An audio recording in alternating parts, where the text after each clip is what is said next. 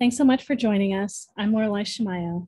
This is the MeWe Awakening panel for energizing body, mind, heart, and soul. We have events throughout the Northwest, um, starting in the fall again, and online. So clearly this is our online panel.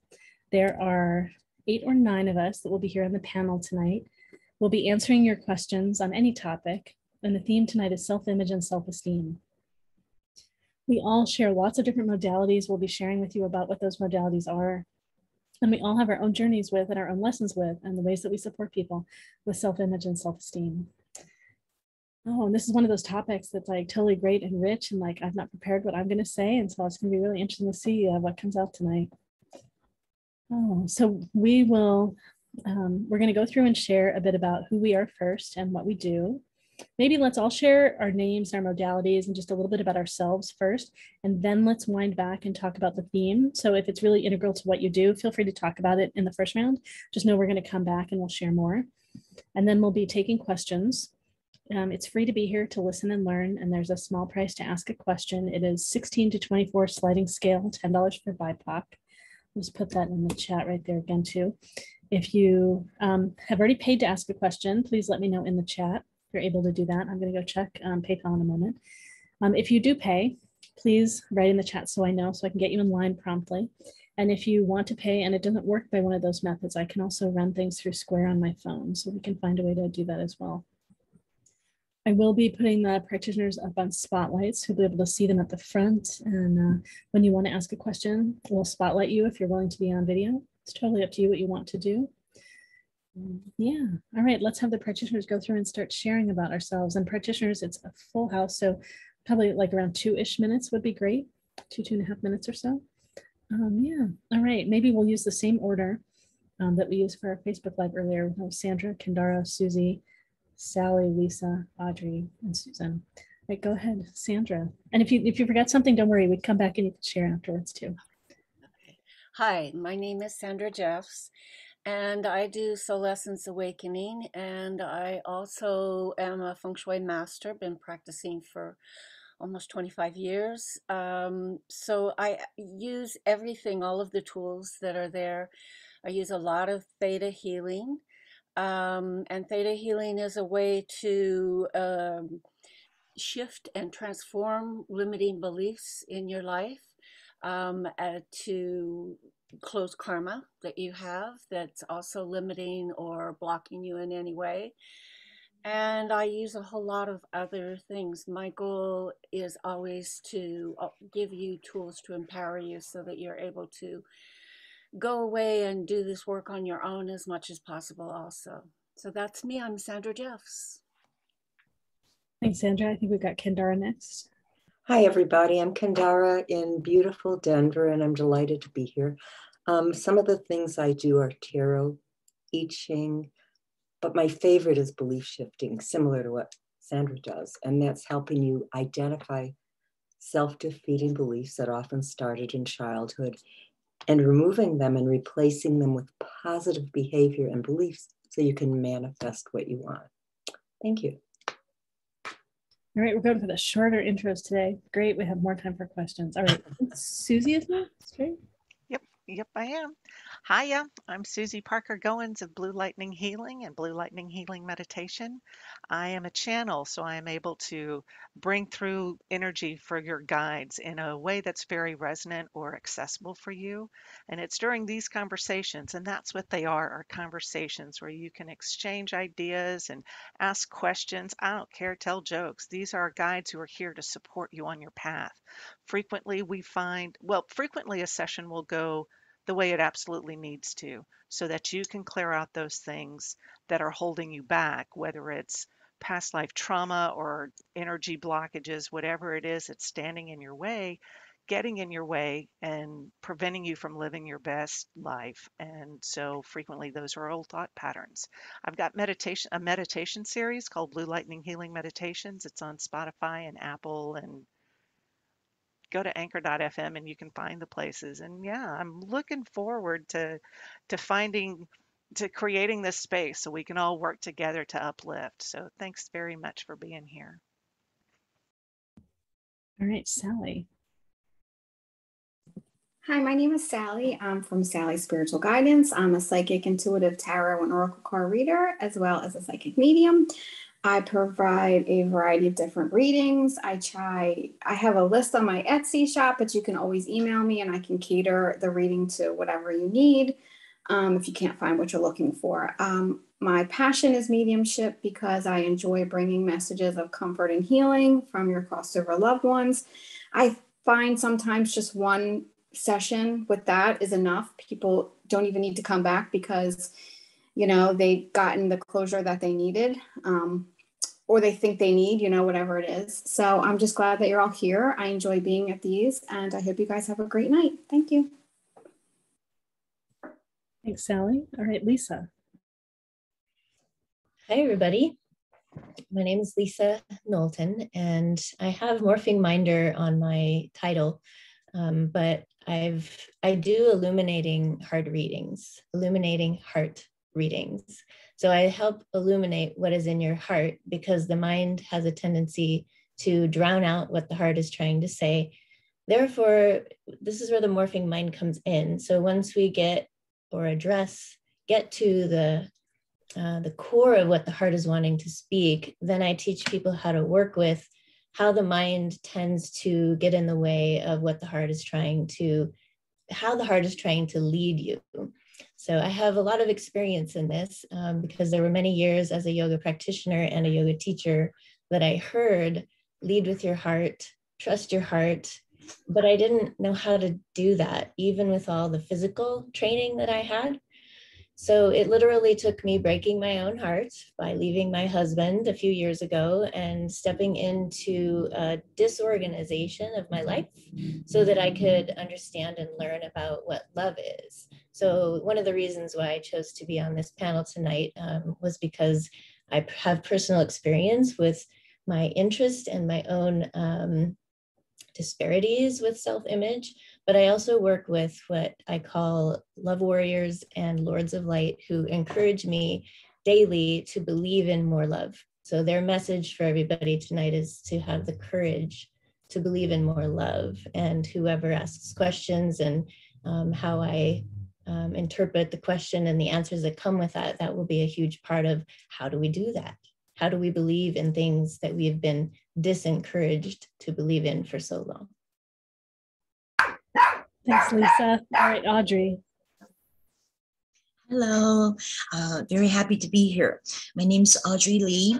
Uh, I'm into astrology, numerology, tarot cards, uh, destiny cards. Uh, I believe that all of these things are uh, tools for us to get to know ourselves, to overcome our own obstacles, or to learn about, uh, you know, various lessons, whether it's about money or family values or ourselves. Because after all, uh, the bottom line is the self right? When we close our eyes we just uh, uh, we we still have to face ourselves every day right? So the next day when we wake up we have to face ourselves. And um, uh, so i look forward to meeting all of you to talk about different things, uh, to shed light in uh, the different areas, the different difficulties that you have. Um, all, my, all of my information can be found at my website, audreyleemetaphysics.com. And I also have uh, meetups every Monday night talking about uh, different metaphysical topics. Thank you so much. Thanks, Audrey. All right, Susan. I'm Susan Watkins with Inspired Life Essential Wellness, and I offer intuitive uh, readings and coachings with oracle cards, as well as Reiki and sound healing and some mindful movement, just helping people connect back to themselves and tuning in to what really matters to them, how they want to show up for themselves, and what might get in the way of that. Um, we often will use guided meditations as well as some journaling. So I'm really, um, I really love being a part of these panels, and and I am honored to be a part of your journey. So thank you for sharing your evening with us.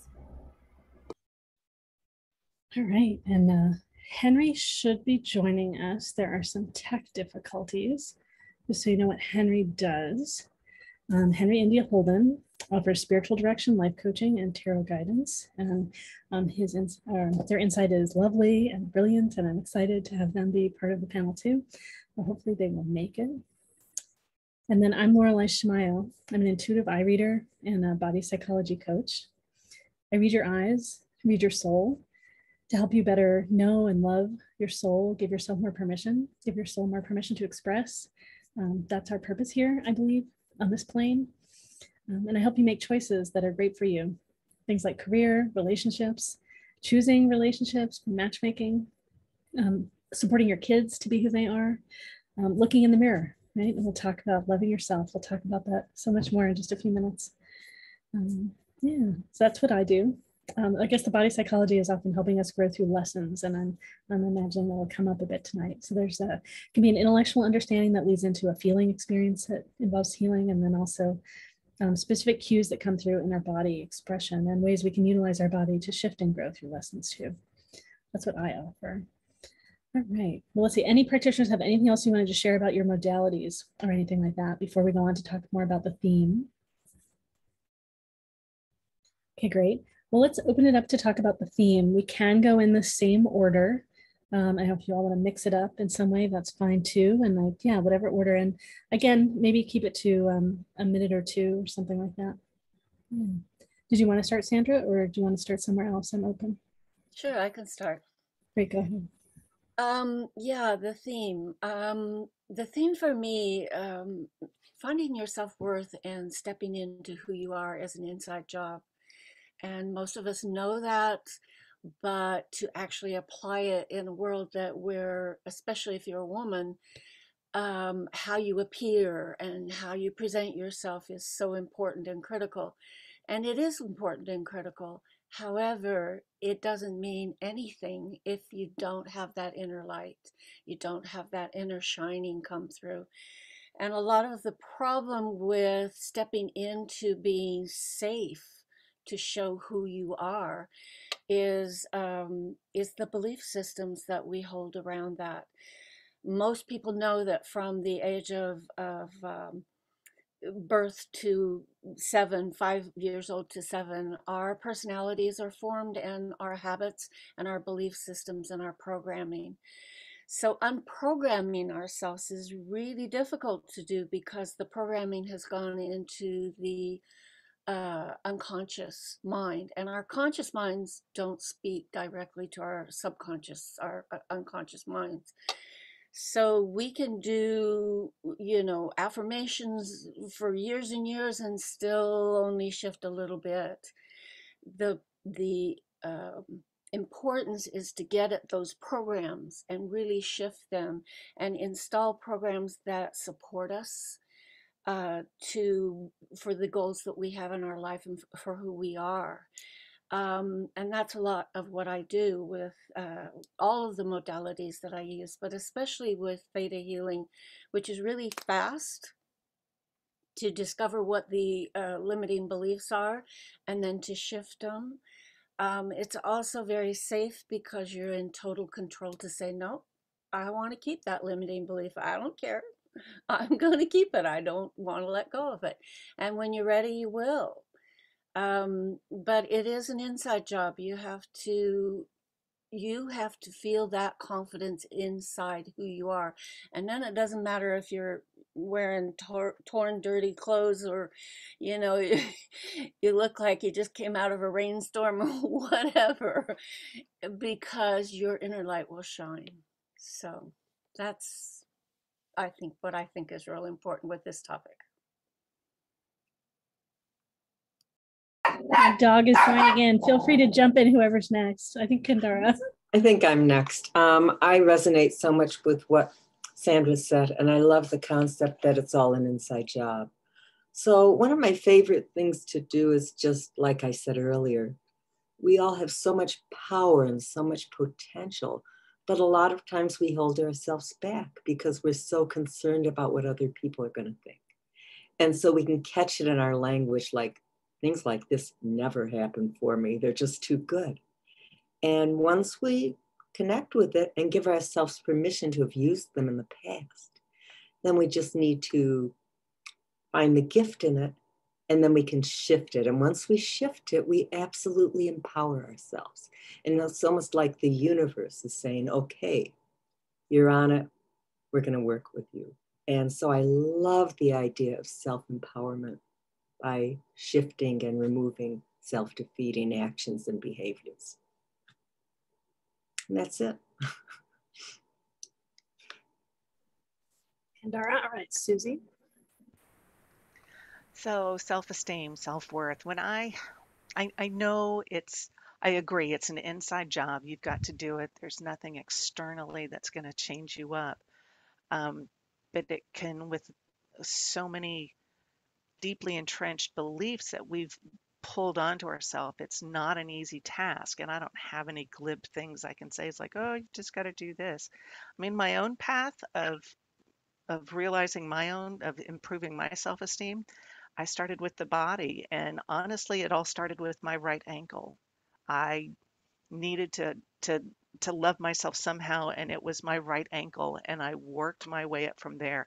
I would put henna on it i would stand with it out and that helped me um, to understand that there was some part of me that was better. And then since then it has spread out not just through the body but through recognizing the path and the challenges I have faced, and to be able to convey that sense of accomplishment is what has improved my self-esteem. And it comes out i obviously well obviously i don't like that word anymore but it comes out through my interactions with people. But i also understand that not everybody's at the same place so we all have to start somewhere. And what I strive to do is to recognize where you're starting from and to support you there. That's what this panel is all about is to let everybody know we're not alone. We're all working on this together. And certainly with the past year, we've had an opportunity to sit and go, oh, okay, maybe I can work on this. So there's a lot of shadow work involved, but it's supported shadow work where you have someone to help you through it, whatever means that is. Um, but once you're able to, I feel that that first breakthrough is one of those amazing things, and it fuels that internal fire to to encourage you to keep moving forward and working on it. So it can be done. It is an inside job. I totally agree with that, and it's it's going to take time and effort, but you can do it and we're we'll help you with that. So, yay, yay us for even thinking about it. Well done. Thanks, Susy. Sally. Okay, hopefully my son doesn't come home and the dogs don't go crazy. um, so I'll say this as quick as I can. Um, so I have an interesting story. Mine's a little different. I was very, I, I always loved myself as a child. I was one of those kids that like twirled around their dress, looked in the mirror, thought I was just the cutest thing in the world. But people started to make comments about it. And I would be called conceited. You know, my dad would say, Oh, you love yourself, don't you? My mom would say little things like that. Oh, look at how she looks at herself in the mirror. And those things started to go in my brain like it was wrong and I shouldn't do that, you know, and it was, it was not right to love yourself and admire yourself. There was something wrong with it. And then I would catch myself not doing it, you know, like forcing myself to kind of not be that person that actually liked themselves. And it made me almost a miserable person at times because I, I, just went into this slump of like, well, maybe they're right. I shouldn't be looking at myself, or maybe this is wrong with myself. You know what I mean? And then also, like, you know, when you're super younger and you're pretty and then you get older and you age, you're like, this is what happened, you know, and I had to always try to keep myself in that image of myself to kind of make myself always look good. And then, you know, I got sick. I had cancer. I had a brain um, brain surgery, and I looked like death. I gained lots of weight, and I just thought to myself, "What? Why? Who cares? You know, who cares? Why am I worried about this? Why do I care? I'm alive. I'm healthy. I'm breathing. I wake up every morning, and that's enough. And if anyone doesn't like it, then I just can't worry about it, you know? And so I think when you just don't worry about what other people think, there's a saying that what other people think of me is no is none of my business. And if we can just keep that in our minds, then we don't have to worry about what other people think. And the only person that matters is yourself. And I can promise you that no one will ever love you as much as you love yourself. And why do you love other people more than you love yourself? And why do you tell other people how beautiful they are, but look at yourself and not see that? So that's what we need to work on. And that's what we hope to achieve tonight. And um, just thanks for having me, and I'm excited. Thanks. Thanks, Sally and Lisa. Sally, thank you for that because that really struck a chord in me. Um, being a relatively shy girl, but also very athletic. And anytime I expressed that part of myself, I was told I was a show off. And even though I was just having fun. So I have a similar story in that in that way. Um, I think that I was I was writing down the words self image and the word image and looking at ourselves in the mirror um, i think that there is a there's value to being able to look at myself and see myself in the mirror and believe in in myself in the way that i appear to myself but my my interpretation of what it what it's like if it's an inside job is that I have to feel that way. So the so the image isn't in the mirror as much as it is in what I hold inside of myself and how I project it out. And I'm really just kind of understanding this right in this moment as you guys are all sharing your versions and and as I'm uh, developing my own awareness of this at the same time as you all are.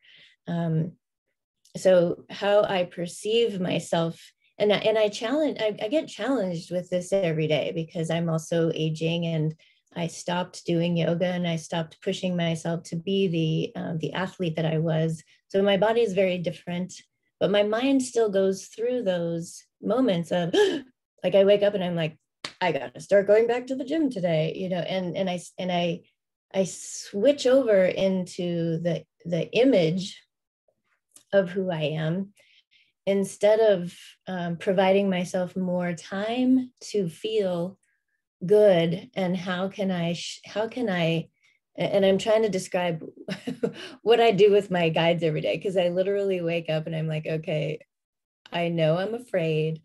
I know today is going to be challenging and I'm going to meet lots of new people. And how is it, how am I going to look to all these people? Um, but I, so I stop and I go into my heart the best that I can, because this has been my journey as the illuminating heart reader. To, and I feel this sense of everlasting love for this little heart that I've got inside here and then I try to generate it outward and upward and up into my mind so that my mind is in a state of love too. And that I'm learning as the morphing minder and from my guides. So um, I find it to be a very, um, it's an effortful journey and that all the parts and all the pieces that we all offer you tonight are going to have an effect on our perceptions. And that not only do do i get to learn how to perceive myself in this way but it literally helps me perceive others in the same kind of way. So um, i'm going to speak freely about this but as lovingly as i can because there's there's judgments between us you know? I'm five two and i weigh this amount and i am perceived as small and petite and there's judgments against that and i feel it because i'm an empath and then vice versa. I, I i'm probably going over a little time here but i i also have a mother who has a very difficult time with people who are larger than than us. And so i've sort of picked up on that but through the work that i've been doing i'm so happy to say that i feel so much better about relating with all shapes all sizes men and women more than ever before. so I'm really grateful to be here and thank you everybody for um, joining in the conversation and Laureli for putting this together because I asked her to do this. So thank you. Thank you so much, Lisa, for being the inspiration for this this theme. Audrey. Hello.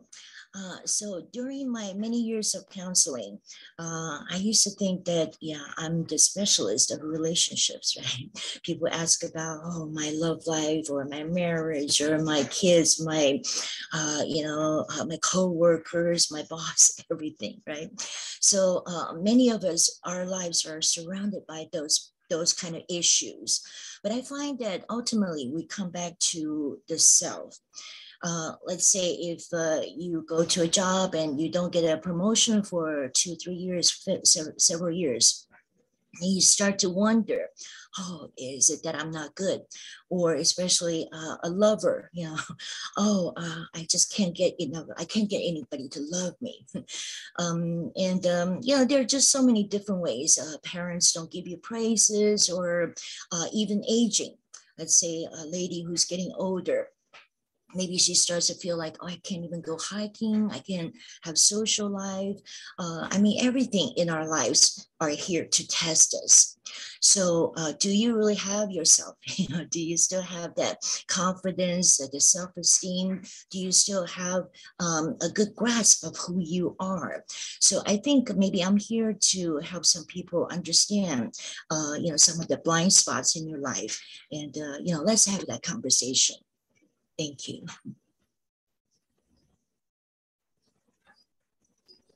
Thanks so much, Audrey. All right, Susan. Oh gosh, self esteem and self confidence is certainly something that um, I have been challenged with, I think, my whole life. I am the youngest and the only girl, and I always saw, I didn't necessarily compete, but I certainly compared. And I always felt like my brothers were smarter or um, you know my family's very musical and my dad was just this phenomenal piano player and i just made noise you know it was always um, trying to be um, trying to be perfect really and never feeling like i could measure up. And so and then also too being the youngest you know with and the only girl um, you know the boys wanting to do all the boys things but then no girls don't do that. And and so really trying to figure out like where do i fit in and all this? And then you know people say oh you're so quiet. So then i started thinking well i'm quiet i'm shy i'm introverted. And i am those things but um, i'm also a lot of other things too. So really trying to figure out like um, you know, it comes back to self, you know, self image. How do I see myself? Not how people told me I was or how people told me I should be, but how I truly see myself and how I truly want to show up for myself and for other people and to stand in my authenticity and of of who that is and so it's really been a journey in trying to peel back the many layers of things um, that were put on me that I put on myself consciously, subconsciously, whatever it might be, and um, come down to like who really am I in my own skin, and um, and I think some of that confidence when you have that image. You, you know you've kind of created that image and then the confidence you know comes from from doing from taking action from speaking your truth even if your voice shakes even if you know that oh well you don't believe that. You don't really believe that you know?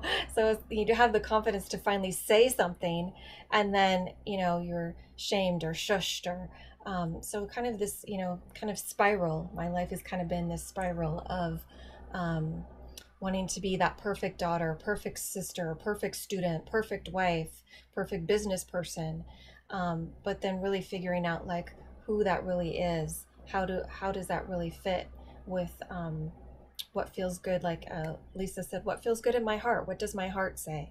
And am I listening from my head or from my heart? Am I listening from what I was told I should or could do, or what really feels true and authentic, you know, to me? And I think, you know, really how we talk to ourselves and what we say, you know, matters. Are we looking at something as an obstacle, or are we looking at something as an opportunity? And being willing to um, to speak up, even if our voice shakes, to be willing to take action, even if we don't necessarily know 100% how it's going to work out. Because sometimes that confidence really does come from just, you know, taking that step and and um, and speaking up and owning your worth and your value and knowing that your words do have value So I look forward to. Um, I don't know what's going to come tonight. That's what's so interesting about these panels. We don't get the questions in advance. We don't talk to each other in advance, but it's always such a beautiful, beautiful flow. So I look forward to uh, to being a part of everybody's journey, and thank you for being a part of mine. Yeah, it's so amazing, beautiful hearing all of you share and all the different things that we contribute. It's amazing. I was taking notes, right? I have the benefit of listening to all of you and I'm scribbling away. Me start a little bit about my journey, get time for myself, and um, just some of the things that interfered in my own um, self esteem, self value, self image. Um, I had my boundaries crossed when I was very young. And so, sexual trauma and all the messages I took in about that, about my value and who right, who determined my value. So safety, so important, I think, and self-esteem and self-image. I studied, I was very interested from a young age in more of the sciences and being in what seemed like a female body, although coming to find out that I'm, I'm non-binary and I'm queer. And so all these ways that I didn't fit in, what was expected and like working through all those expectations and attempting to open up to myself and open to discovering and appreciating who I am and I think that for those of us that are queer in various ways, we actually get nudged through a lot of the self esteem journeys just to come out to ourselves and to others. Um, I've been I've been overweight, say all my life, and there are many ways I've been healthy and physically capable, and um, like I work out twice a week now, and um, so I'm stronger than I've ever been in my life. And um, still, like all kinds of lessons with my body, and I know it just goes way, way back, right, to all of the early abuse too. And you know, when I was a child, I think I decided I wanted to be ugly so that people would leave me alone and no one would violate me again. And just all these lessons in here. So I'm still on a journey with my own lessons too. Oh, so some of the tools that I use for this, and I'll just kind of rattle off some of the tools now so you have some of the ideas of things that may show up later too. Um, knowing that I and that everyone, we always do the best that we can in any moment. Like, of course, we do the best that we can, even when some people it sucks, even the people that violated me. Um, John Gottman is a researcher in relationships here in Seattle.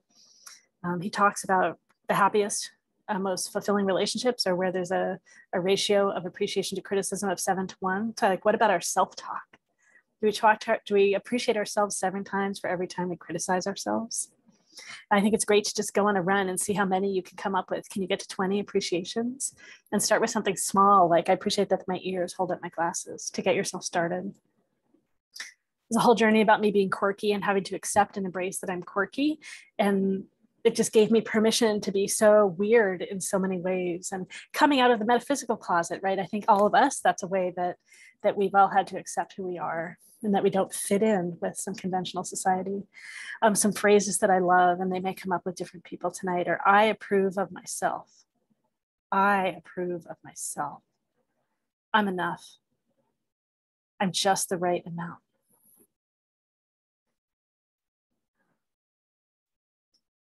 if we get stuck and have trouble opening to some opening to loving ourselves, thinking about a child in our life, might be one of our own kids, or a niece or a nephew, or a friend's kids, or just something in nature.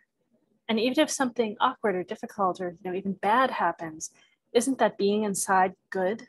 Aren't they innocent inside? And thinking about that and then bringing that back into ourselves and thinking about that being again back to ourselves. Then I was thinking about Byron Katie's turnarounds, right? Our negative beliefs about ourselves. Do we know it's absolutely true? Part of the one of the steps of the turnaround.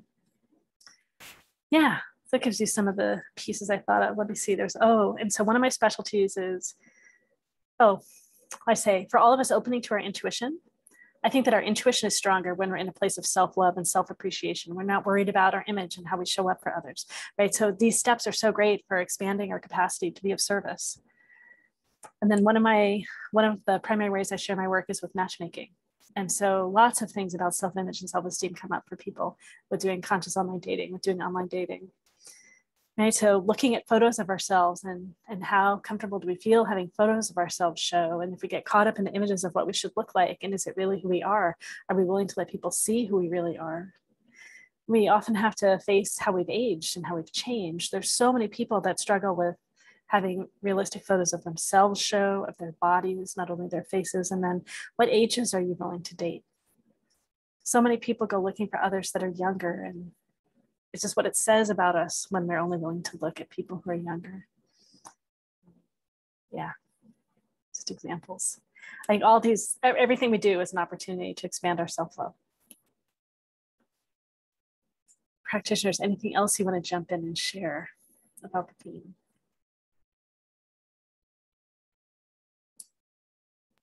I I would. It's it's one of the things that I learned in my own journey. I went to a reader who said who gave me this affirmation mantra, but it is to look at yourself in the mirror and say, I love myself just because.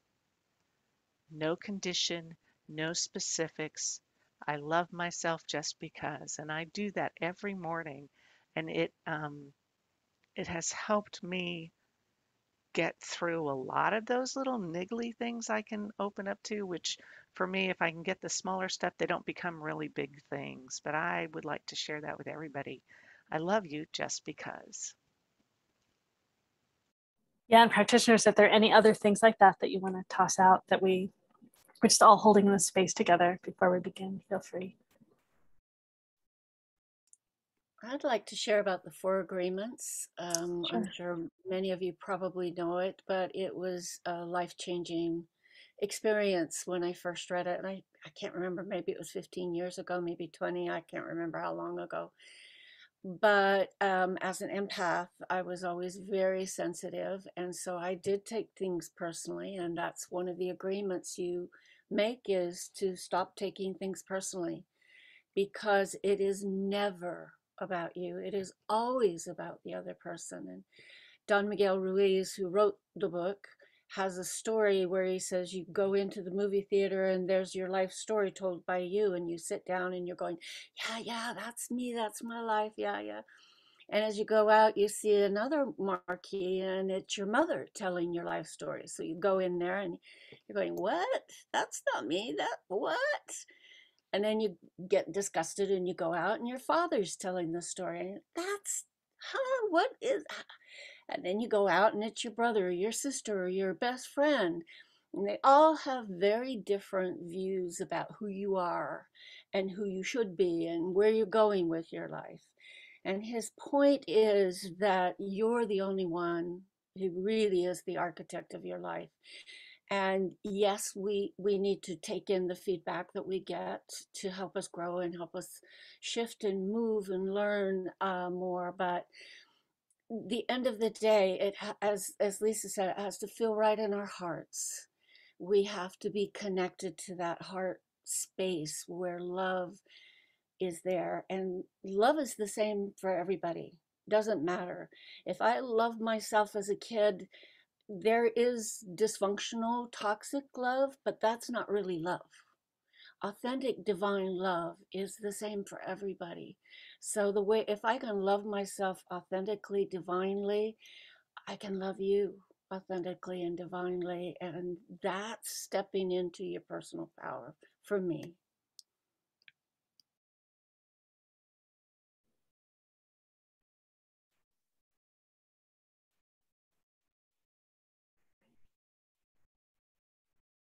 Yeah, practitioners, anything else you want to share? Go ahead as Henry's getting ready, and then Henry will introduce themselves and share a little about the theme too. So glad you made it, Henry.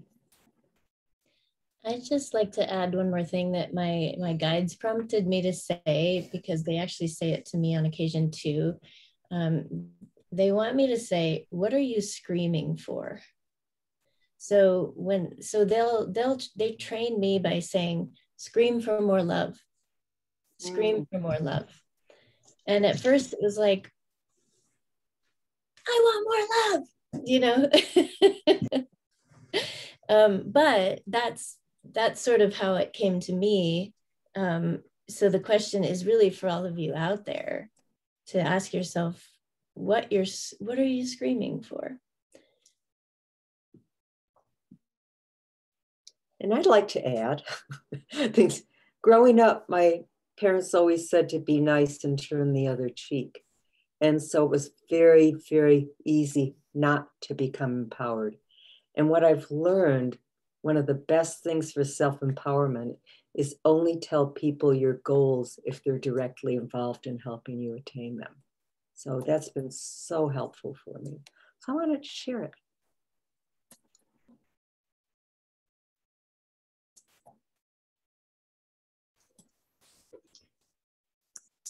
May I share a, a personal experience?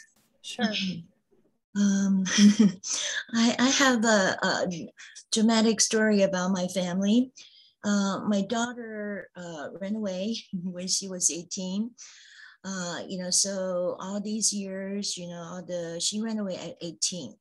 Uh, of course, that made me doubt um, terribly if I was a uh, you know, if I was a good mother, uh, if I neglected her, what had caused all of our, uh, you know, distrust and all of that. So of course, that's a, you know, a permanent scar, a big scar in my heart, and that uh, made me wonder about my self worth. Uh, but then, you know, coming to see my daughter's point of view, she's a she's a mixed breed, so she couldn't really find a place in uh, the Asian his in, in Asian heritage, and she couldn't find a place in the uh, Black heritage. so uh, you know, I can see that she's just like uh, she's just this lost soul. She couldn't find her place, and so she had to go out there to find herself. Uh, and I just hope that she will come back one day. Uh, but I, I can see that there is really no easy answer in any of this uh, we're just living in the trauma. Maybe it takes a long time to get over, uh, to really find the answer. There's no easy answer. So that's my personal story. Thank you for sharing. And yeah, things happen that that aren't under our control that, that bring up all these questions of our value. Well, Henry, we've we've gone around and we've introduced ourselves. And then we've started talking about the theme. So feel free to introduce yourself and to talk about the theme. Okay, I so hope that you can hear me. Can you hear me? Yay. Yes, okay. So I am Henry India Holden. I can be gotten a hold of on henryindiaholden.com. And uh, uh, let's see here. I, you know, how I work with people on anything. I feel divinely guided. Uh, so really there are answers for everything or insights into anything. But I specialize in two things, uh, helping people define their purpose or find it if they just don't know it all, and then develop the steps to manifest this purpose. And uh, something that's related to it is helping people um, uh, uh, uh, connect more powerfully with the divine or with however they understand that with their higher power their higher self to create this beautiful intimate and empowering and nurturing relationship. And of course when you do that then it's very easy to find your purpose because your purpose is related to your divine nature. And um, my show special is 30 30 50 50 so 30 minutes $30 50 minutes $50 and today's theme has to do with possibility. Yes Laureli right. Today's theme is self-image and self-esteem. Yeah self-image and self-esteem. So uh, so self-image and self-esteem uh, it's so interesting how we call it self image and self-esteem because almost without fail uh, what our images of ourselves unless we've done work what our images of ourselves which then also gives the esteem is what how we think others see us or how others tell us who we are or what the world reflects back to us so it's more diffuse where uh, like for example for many many years I, uh, I, my sense of self was that I'm unlikable, like Hillary Clinton, you know. And uh, I, this had nothing to do with did I feel unlikable? Did I think of myself as unlikable? No, but the world was reflecting something back that I then interpreted that way. Now, what did it have to do with um, that? My brother was not happy that I was born six years after he was, you know, the king in the castle and he didn't like me and i internalized that so that was a self image that was not my image at all it was my brother's image So it's the brother image, not the self image. And so when we distinguish between the self and the and anything else, that's when we can start saying, how do I feel? Well, who am I to myself? And we can look then inside, and then when we can connect with our divine self, then of course it all reveals itself. So that's what I have to say about that. I don't want to keep talking too long because I like to, you know, it's easy for me to just keep chatting. So thank you so much. And I'm just so happy to be here. Hello, Susy. Shout out to you. Always lovely to see you. And uh, sorry I didn't hear the last question. I just didn't come in on time, but uh, I just love being here. Thank you, Laureli, for making this um, possible for all of us, the people who are attending, as well as the practitioners. And um, what else? And so I can't wait to hear your questions and be of service any way I can. Thank you. Thanks, Henry. So yeah, practitioners, just anything else you want to jump in and share about the theme before we get going? And give everyone space. So I know we've got one question in line already. I put the information in the chat again. Um, okay, great, great, great. Yeah, so the information in the chat is there to pay. Please let me know if you have paid. You can pay by PayPal or Venmo, or I can run things on Square I may not be up to date with everything, but I know we've got at least one in line. Um, so before we start, when you ask a question, so keep in mind that this is recorded and this will be this will be posted publicly. So you ask a question. We may go deeper than you intend us to go in this public format, or we may start talking about other topics that for us are related, but that you don't want us sharing about here please let us know. You can let us know in the beginning before we start. You may need to remind us as we go through. And at any point, if we share any of those things that you don't want us sharing here, please unmute and call out and get our attention or um, get on the video and wave your hands write in the chat, whatever you need to do to get our attention so that we can shift and honor you in the way we answer. We believe that everyone is intuitive, and these panels are great opportunities to practice opening to your intuition when someone asks a question, when you see someone who's about to ask a question, things may appear for you. You might want to write those things down, anything that arises for you, because they often are fleeting. And then we request that you hold that until we finish answering someone's question. And then if you want, you're welcome to write them privately in chat and ask if they'd like to hear what came through for you. And please honor whatever they share. If they say no, please trust they're doing their best to honor themselves. They might be full after maybe getting nine answers tonight and trust that it came through you for some other reason. And is there something else? Something else? Maybe that's it. We just invite you to learn from all that is asked and all that is shared tonight. And thank you so much for holding space for, for all that we're doing here. We do this all together. These events got created together as a community, and we all co create them every time. And Lisa, thank you so much for this theme. All right, I'm going to take one of us off. I'll take myself off. Um, for, well, I start pulling all of us off and then, um, or I could probably pull us all off at once. How does this work? Move all spotlights. All right, great. So Andrea, I believe you wanted to ask a question tonight. Is that right? Is that you, Andrea? I'm going to spotlight you. Yes, oh. it's Drea. Well, let's yeah, see. Is it Drea or Andrea? I have um, my nope, name not this one. Okay, Andrew. Let's, oh, okay, okay sorry. My name is. I just Andrew didn't know. We have two of you tonight, and there might sorry. be. I didn't know. Sorry, Andrea. It's okay. Which? So let's go see. So is it Drea? Is it you? I'm sorry. Um, yeah, I. That's great. My name is just, Andrea, but they call me Drea. That, that's great. I'm that's so great. Sorry. I knew. That's I knew like it might be name. you, but I wasn't sure. Okay, just want to make sure that whoever paid to ask a question is the one that gets up here. All right, great. Oh yeah, I can't spotlight oh. you because you. Oh. But if you don't have to, you don't have to be spotlight. Okay. oh yeah, because I'm a nurse. Yeah. yeah, it's great. Okay. Mm-hmm. All right. I thought it was a different name, but so that's why I love last name. But it's great. Did you want to ask your question? Do you want me to read? What yeah. Uh huh. Um, you can read what I wrote. Yeah, that'll be fine. Okay, sure. You said yeah, I have a question about my love life.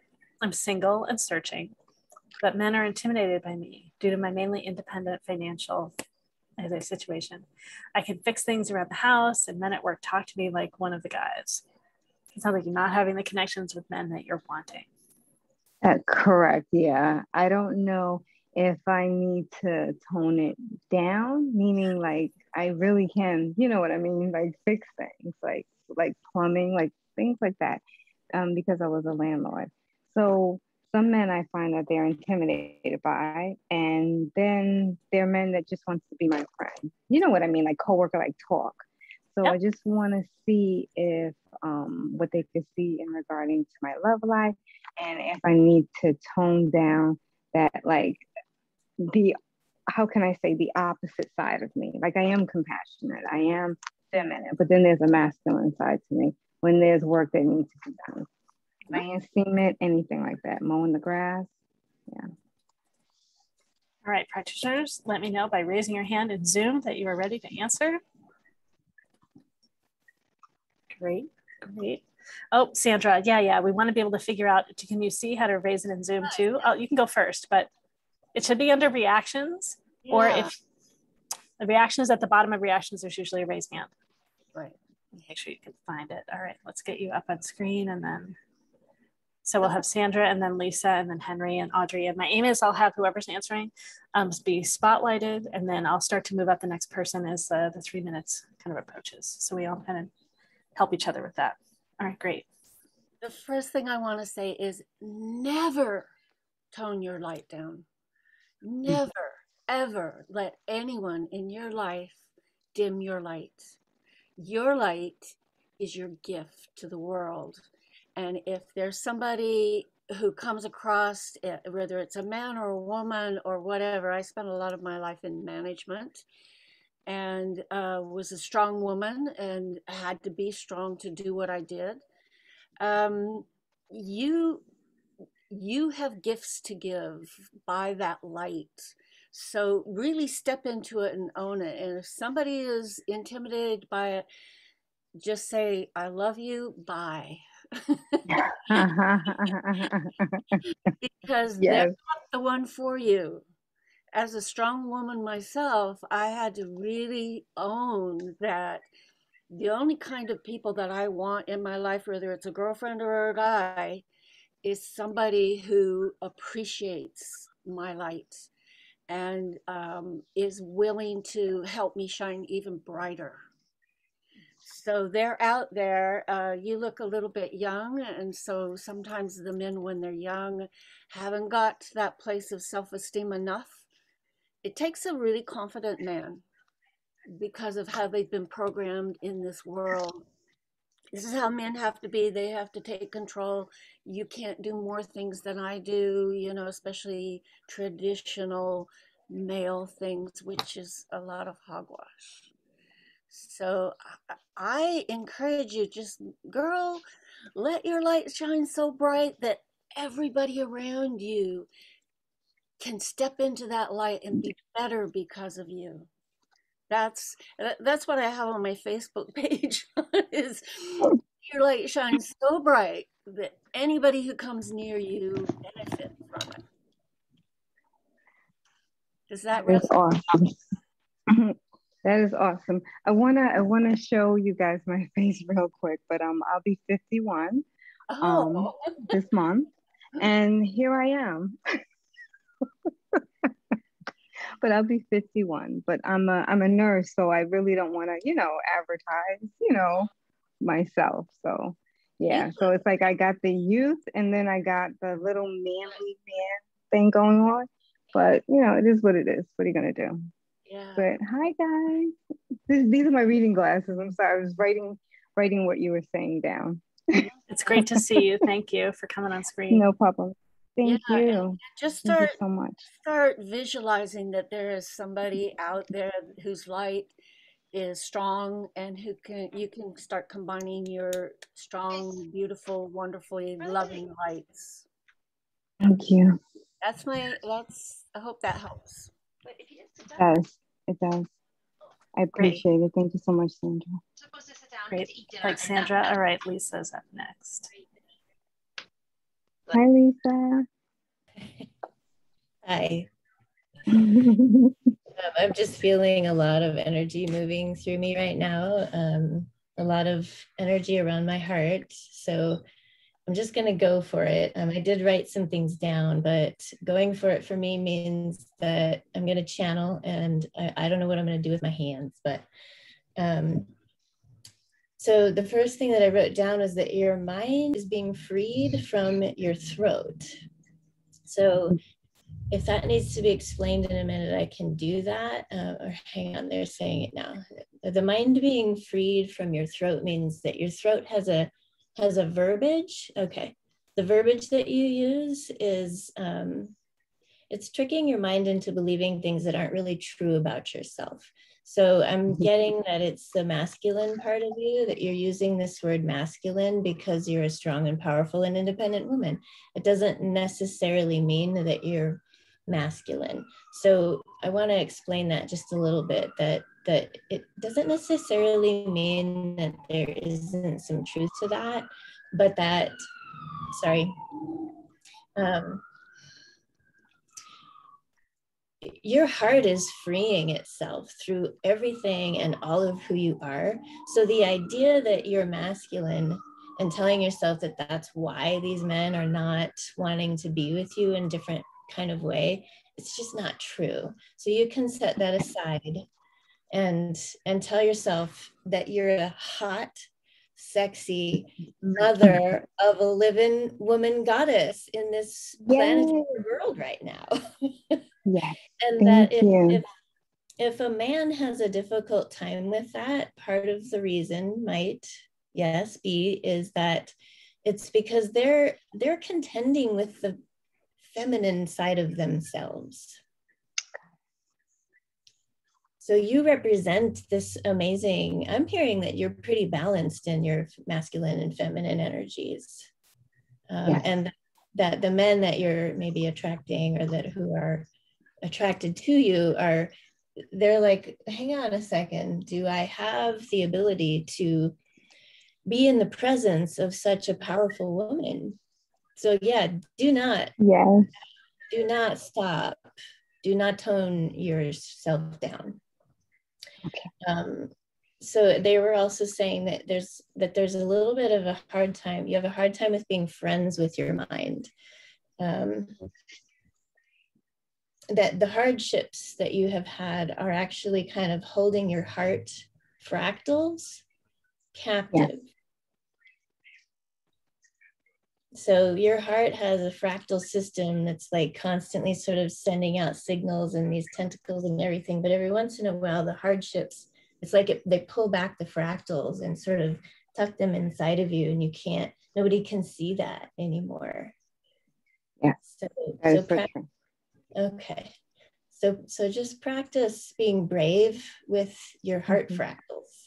And they keep using that word. They don't use that word with a lot of people so there basically implies that you understand that.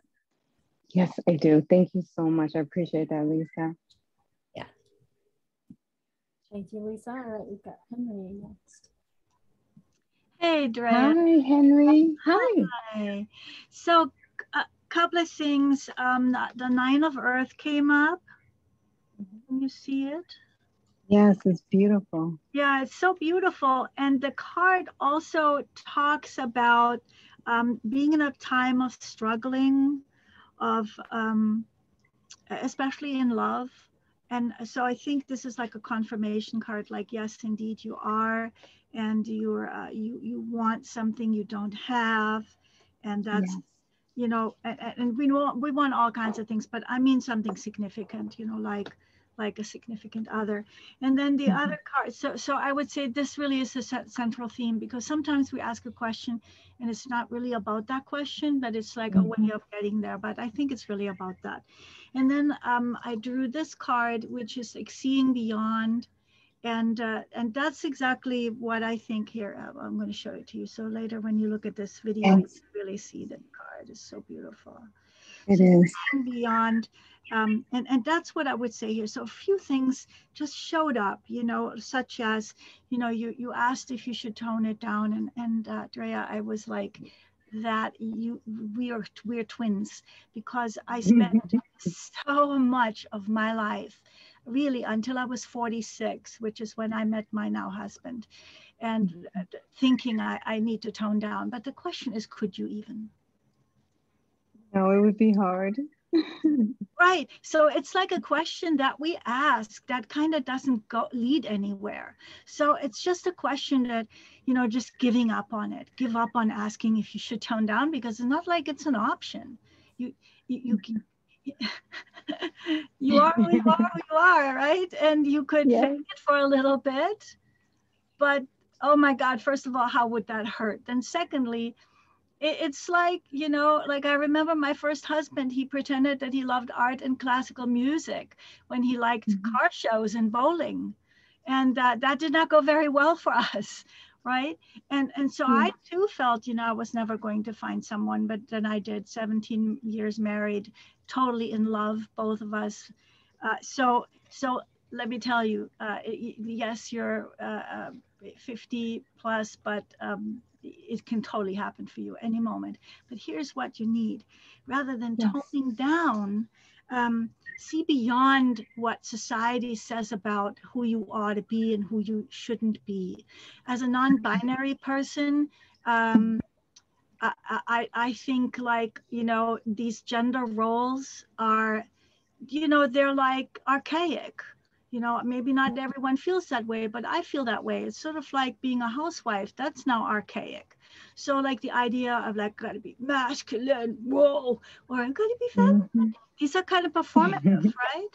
So yes. um so and and also like you know if you are masculine awesome awesome somebody's gonna be crazy about you for that lean in right so rather than toning down what do you see when you see beyond, when you like take a bird's eye view of who you are? What, how lovable are you? How beautiful are you? How vital are you? Right? I mean, I, I saw you for a few seconds and that's what I got. What mm-hmm. do you get when you look in the mirror? Amplify that. Okay, will do. I see that I still have uh, another journey because I'm comfortable with my self image. I'm comfortable with my self esteem. Yeah. So and then, I, yeah. So where focus does, on the positive. Does idea come mm-hmm. from that you should tone down?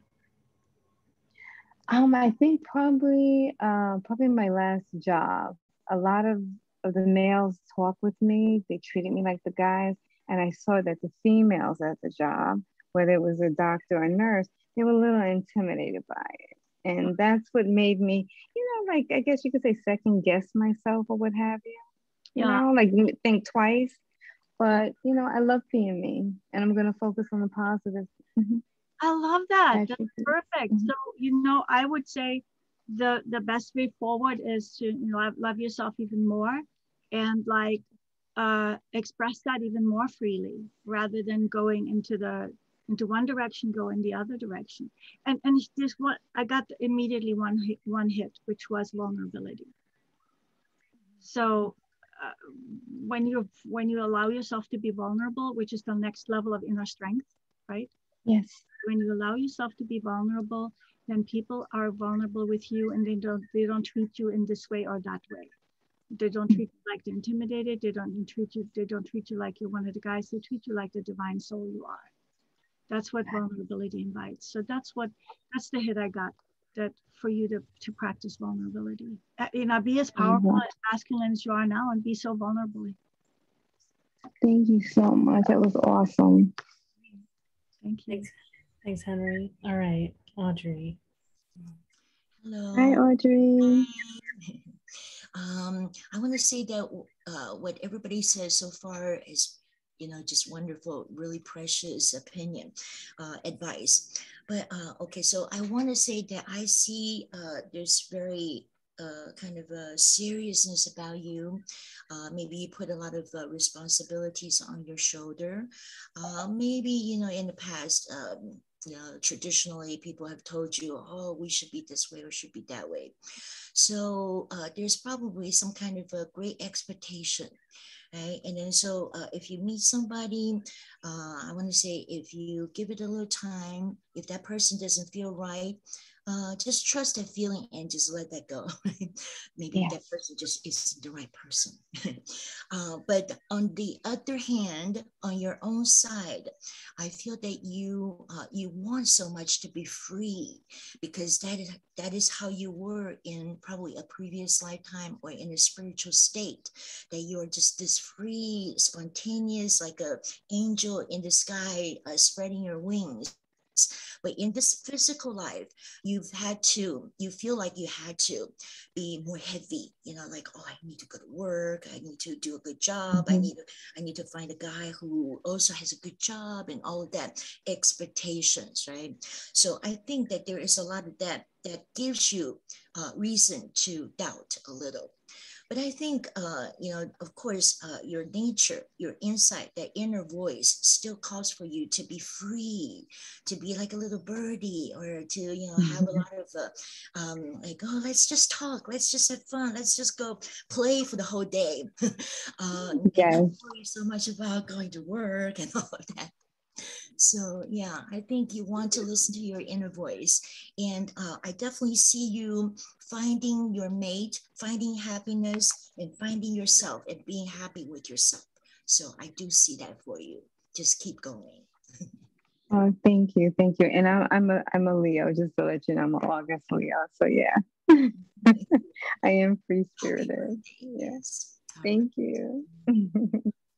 Great. Thanks, Audrey. Let's see. And next we've got, we've got Sally next. I gotta get your hand down too. Hi, Sally. Hi. Okay, so I'm gonna be like the devil's advocate here and flip it a little bit. Um, I got look at these cards. Okay, we got the strength. We got this woman who's standing there with her torch, like, don't mess with me. Right. We have this lady who's like, I don't have time for your crap. I've just got, I'm too busy doing other stuff. Right. Um, and then we have this sun, though, right? What she really Mhm. wants is this happiness and this abundance. Now, do you have to tone yourself down? No. But I got these two interesting cards pride and how teachable are you? Here's the question. I know. Here's that's why I said, eh, well, so I feel like this is a familial thing with you. So the women in your family either were very strong or they let men treat them in a way that you saw that you were like, I'm never going to let them do that to me. Okay. It just feels uh, it feels influential in some ways to the point where you're rebelling it. Here's the thing we don't have to tone down for other people, but sometimes we have to tone down for ourselves. We have to open up and allow somebody to come in. I feel like some of the men that you're dealing with are a little immature. Um, they're Mhm. not on your level. But I just want you to, here's what I want you to think because we have this card. This is an aha moment. This is a, a card of mental clarity when things come together and you kind of get that. You know how Oprah used to have that uh, aha moment where things Yes. just clicked and made sense? How teachable are you in terms of everyone has something that they can teach us? We can learn something from everyone, and letting ourselves be vulnerable is what is scary. It's not that you don't want to let them help you, it's that you it, it's it is it's that you don't want them it's you don't have to tone yourself down is what i'm saying to allow help. Do you understand what i'm saying? Because sometimes men want to feel just as needed as we do right? And so Mhm. you know maybe you just have to be okay to let them help you right? It doesn't mean that you can't do it yourself and you don't always have to do it yourself. Maybe you just have to say you know what? If you want to fix that i'm going to let you fix it right? Because it's Yeah. giving up control. It isn't about toning yourself down. It isn't about not being your authentic self. It's about giving up a little bit of the control and allowing that person to come in and fully love you the way that you deserve to be loved and let them take care of you and protect you in the way that they want to. And you you don't have to be weaker because of that. That's not a sign of weakness all right? That's opening up and loving like a child right? Even we can even learn, learn from children right? And we let Mm. children in and we let children in to love us and we don't throw up our guard at all right? But when a man Yeah. tries to do it we're like nope nope i can do it i can do it i can do it i can do it. But we know you can do it right? And we but again it comes down to how much you know, how much pride are you exhibiting, right? How much are you being too prideful that you're getting in your own way and you're not allowing anyone to teach you something that they might be able to teach you? So just be open to it. Mm-hmm. That's the message I got from this. Thank you so much. I appreciate that, and you're you're absolutely uh, right. My mom was uh, the feminine, like the uh, accountant. My dad, blue collar worker, and um, they had property, so I had to learn how to fix it. My dad treated me like you know like a tomboy. It's all good. Yeah. but you have to be vulnerable sometimes. We have to. Yes, we have to I have to learn that. Mm-hmm. Yeah. Mm-hmm. All right. Thank you so oh, much. Thank you. I appreciate that. Thank you so much. Thanks, Allie. All right, we got Kendra. Kendra. I'm sorry. Is it Drea? Drea? Yes. Mm-hmm. excited to give you what I got for you. So the first thing I got was to be the goddess that you are and let your mm-hmm. light shine. And because you did grow up in a neighborhood and a family where the women were not encouraged to be strong, there's a part of you that uses the strength to empower and protect yourself, but there's not a need to do that because by just being your beautiful self and not not toning it down the people who are supposed to be with you will and someone yelled it's not a popularity contest you know. So the thing yeah. yourself just do what's comfortable for you. And then i pulled a couple i ching cards on you which is a form of reading that i do and the message I got for you was to just do it slowly, just do what's comfortable for you at the time. And you're going to have people lined up for you. The main thing that you want to do is you want to release the thought about how you think people are perceiving you, because nothing could be further from the truth. So we want you to focus more on your heart and less on your head because there's a fine line of empowerment. And sometimes the empowerment is a protection thing. You know, it's great, you're strong, you're competent, but that works in your favor. It really does. Just really, if you let your feeling come from your heart, you're going to have the right people there for you, and you're not even going to need to worry about it. I hope that makes sense, and I hope that helps you a little bit. It does. It really does. Thank you. I appreciate that. Mm-hmm. Thank you. It's Kendara. Hi, Susy up next. Hey, Drea. hey, how are you? I don't know if anybody's going to see it in the replay. They're going to see me just throw my hands up. It's like, whoop, that was my point. whoop, that was my point. So I love um, it. I'll be able to be short.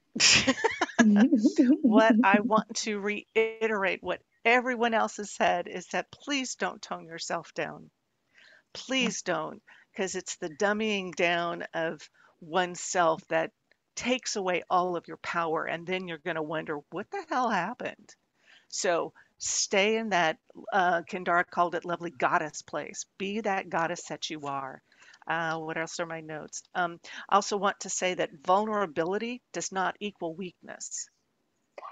Mm-hmm. Okay. Mm-hmm. So when you are open to someone in whatever capacity, I mean, yeah, if you can, if you can fix the plumbing, fine. But to be vulnerable to someone and to let them see what your true heart is, that's not weak. That's actually, to me, a sign of strength to, to trust somebody that much. And then leading into that is do what you love. Do something that has your passion, that, that just allows you to raise your frequency to, to the point that it all goes out and you're going to draw those people to you who share that frequency who share the passion and who can share your love it's Aww. whatever you send out is what's going to come back to you oh thank you Susy. so yay and welcome to the 50s club over yes. 50 club pull up a chair, be comfortable because I always have snacks. Okay. So thank you so much for your question. Oh, thank you. And I hope you have an air conditioner because I'm burning up from menopause. oh, God. I'm sorry. Thanks, Susy. I love your energy. Thank you, Susy. oh my gosh. Oh, let's see. And I'll share a little bit too. Yeah, and I'm over 50 also, right? There's a whole group of us. Yes. Um, let's see so i got a good i got a glimpse of your eyes there earlier so thanks so much for sharing mm-hmm. and it's mm-hmm. possible that the three talents that you have are called um, Priest Priestess, which is about inspiration, vision, passion, motivation. It's heart centered. And mm-hmm. Scholar, which is about absorbing information to build knowledge and share knowledge, which is mind centered. And then mm-hmm. you either have yourself or you learn from your dad, it could be you, is the warrior talent. It's about efficiency, effectiveness, grounding, practicality, and it's body centered. So not mm-hmm. only might you have a balance of the more masculine, considered, you know, like more masculine talents of scholar and warrior, you might have the feminine talent of priest priestess. And so you have a balance of, right, not only masculine, feminine, but also of mind, heart, and body. Yes. Right. So all these things. And so I think that it's great to date people that are similar to us. So I would want you to date someone that's connected to their masculine and feminine and to their mind, their heart, and their body. Wow. Yes. Thank you. Oh, that was cool. That was cool. yeah. So it's however you so you want to look at however you meet people, if it's in person, mm-hmm. historically in person, or if you meet people online, how much do you share and show your mind, your heart, and your body and your consciousness? Right? Do you have, if you meet someone socially, do you have more real conversation with them and let all those things show in the beginning? Right? If you share about yes, yourself online. Hmm? Mm-hmm. Mm-hmm. Yeah. So you want to do those things so that people see that you have all those things and that you're you're proud of who you are and you show who you are. Right. So someone that sees you and who you are. And like not someone that just wants to ride on your coattails and have you do all the work of life.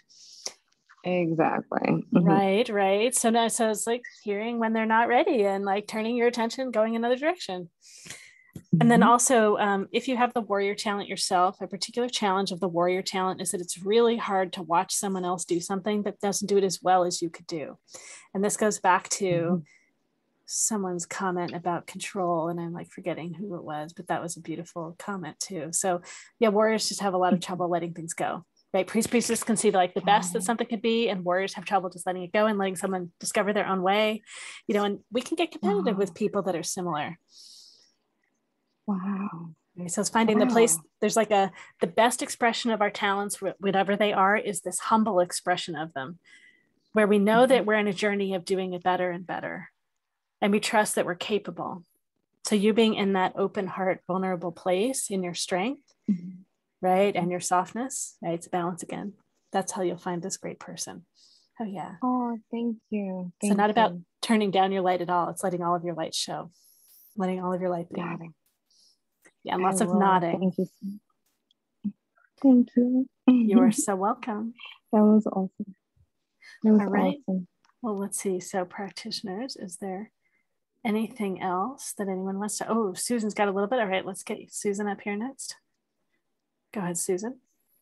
I just have a, a little mantra, and hopefully, I can piece it together. Um, so it makes sense. But I, I just, I was like Susy. It's like yes, yes, yes. it's like I love how the synchronicities just kind of like all flow with within each other, and it just creates this kind of beautiful story. Um, but I pulled several cards and just kind of picking out um, some main messages and themes from them. I've created this mantra. So hopefully this resonates and this is helpful for you or somebody here. um, hmm. But uh, it starts, let's see. Um, I am powerful beyond measure. I am loved, I am safe, and I belong. I am aligned with my soul's purpose. I soar into limitless love, light, and joy. My light radiates through my life and the world around me. My heart is open and leads the way to abundant opportunities and possibilities that await me. So I wow, that was beautiful. That that was helpful, and um, you know, when you come across things, I would one thing that's been helpful for me in my journey is I tend to take it personally. And as others have mentioned, it's a lot of times it's not about you, and you think, well, if I adjust me, if I you know fix me or do something different with me, then others will um, will approve, right? We're kind of like seeking others' approval. And um, you know really just being within your own self and and in your own power and strength and love and light. And so when i come across something like like that i think what else could this mean? What else could this mean? Um, so maybe just asking you know when you come across you know the guys are treating me like guys what else could this mean? You know that they feel comfortable about me maybe you know um, i don't want to Mm. give you the answers but maybe just asking the question. And when you finding your when you come into that place of self-doubt and you're looking like oh this is an obstacle. I'm never going to get what i'm looking for. What else could it mean? Maybe that obstacle is really an opportunity to shift your perspective to to view from a different lens um, so thank you so much for allowing us to be a part of your journey and being brave and and asking your question. And I wish you the very, very, very best. Oh, thank you, Susan. I appreciate that. That's awesome. Thank you, everyone. Thanks, Susan. I Susan. appreciate this was an Oh. awesome, awesome reading. Kendara's got something too, and like I have something else I want to say too. Let me um, Okay. Mhm. get Kendara up here. Oh, Well- Kendara, you have to have your video on for me to sh- put you Oh, up front. sorry, of course. Sorry about that. I wanted to run and get my I Ching cards um, because I figured I would I would pull a card on it for you, Drea. And the I Ching's um, a form of readings that I love to do, and there's 64 Mhm. hexagrams. And the one I pulled for you was Inner Truth. And this is what it Mhm. looks like. Wow, isn't it beautiful? it is. It And the is. and the key words are wisdom of the heart, just trusting what you know to be true, insight, intuitive knowing, and penetrating illusion. So if you allow yourself to go with what you know is right and what feels right for you, everything else is going to fall into place. And can I add a little something? I'm, I'm a psychic. Yes. Um, and I get ages for people. And what I got for you was that at age 22 is very pivotal and transformational in the decisions that you made at that time. So just go back and think about where you were at that time and maybe Yes. what's no longer working for you, and you will have people lined up wanting to date you. So I just wanted to add that. Thank you. That was awesome. Yes, yes. 22. That is correct. Yes. Thank you. Oh, that's amazing. Great, thanks, Kendara. Yeah, And then just a little bit I want to add and see if we, if practitioners, if you see something else in here that I'm not seeing. So from all the things that you've shared, it sounds like if they're too weak, they're, you see them Yeah. as not strong enough. Yeah. So if they're like acting too feminine and if they're too tough, so like too masculine, then it's not that they're not respecting you. And if they attempt to find a middle ground where they're respectful of you and they see you as an equal, then you think they're seeing you as a guy. So there's no Mhm. way for them to show up. No, it's kind of hard because um the men that I do date, they're more uh, feminine. They happen in the past. That that's a setup Yes. so that you'll Mhm. that's a setup. So yeah, Mhm. that's a setup so that you're the one that has to take care of everything. So just watch out. Um, Yeah. So I want to encourage you that some of these people that treat you like a friend, treat you quote Mhm. like a guy, that there might be much Yeah. more potential in them than you realize. Look for the ones that Ah, also can meet you emotionally, ah, right? The strong one that treats you like a like a guy that treat that meets you Mhm. emotionally or has grown themselves enough they meet you emotionally, and yeah, that's where there's a lot of potential. And um, I encourage you to to make up these characters of what it might look like for someone that shows up with the right balance. What are the things they do? How do you feel when you interact with them? Give yourself some spaciousness around what this is so you can identify it when it shows up.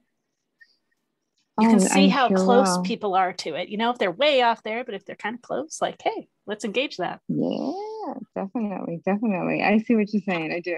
I do. I do. Great. And um, Susy and Henry both had something to say about this also. Go ahead. Okay. Mhm. Yeah, with Laureli, thanks, Laureli. But with you listing that out, we can see the the kind of people you don't want, Drea. Yes. Again, focus on what you do want. Uh, oh, I apologize for not remembering which practitioner said focus on the positive. What do Yeah. you want? Got it. Yeah. And I, yeah, I will focus on what do I want instead of um accepting what is uh, workable, what is, Yeah. uh, I'm trying to be politically correct, but yes, yes. Just as we have asked you not to tone down, I'm also asking you not to settle for less than what you Thank you, deserve. settle. Yes, yes. Okay.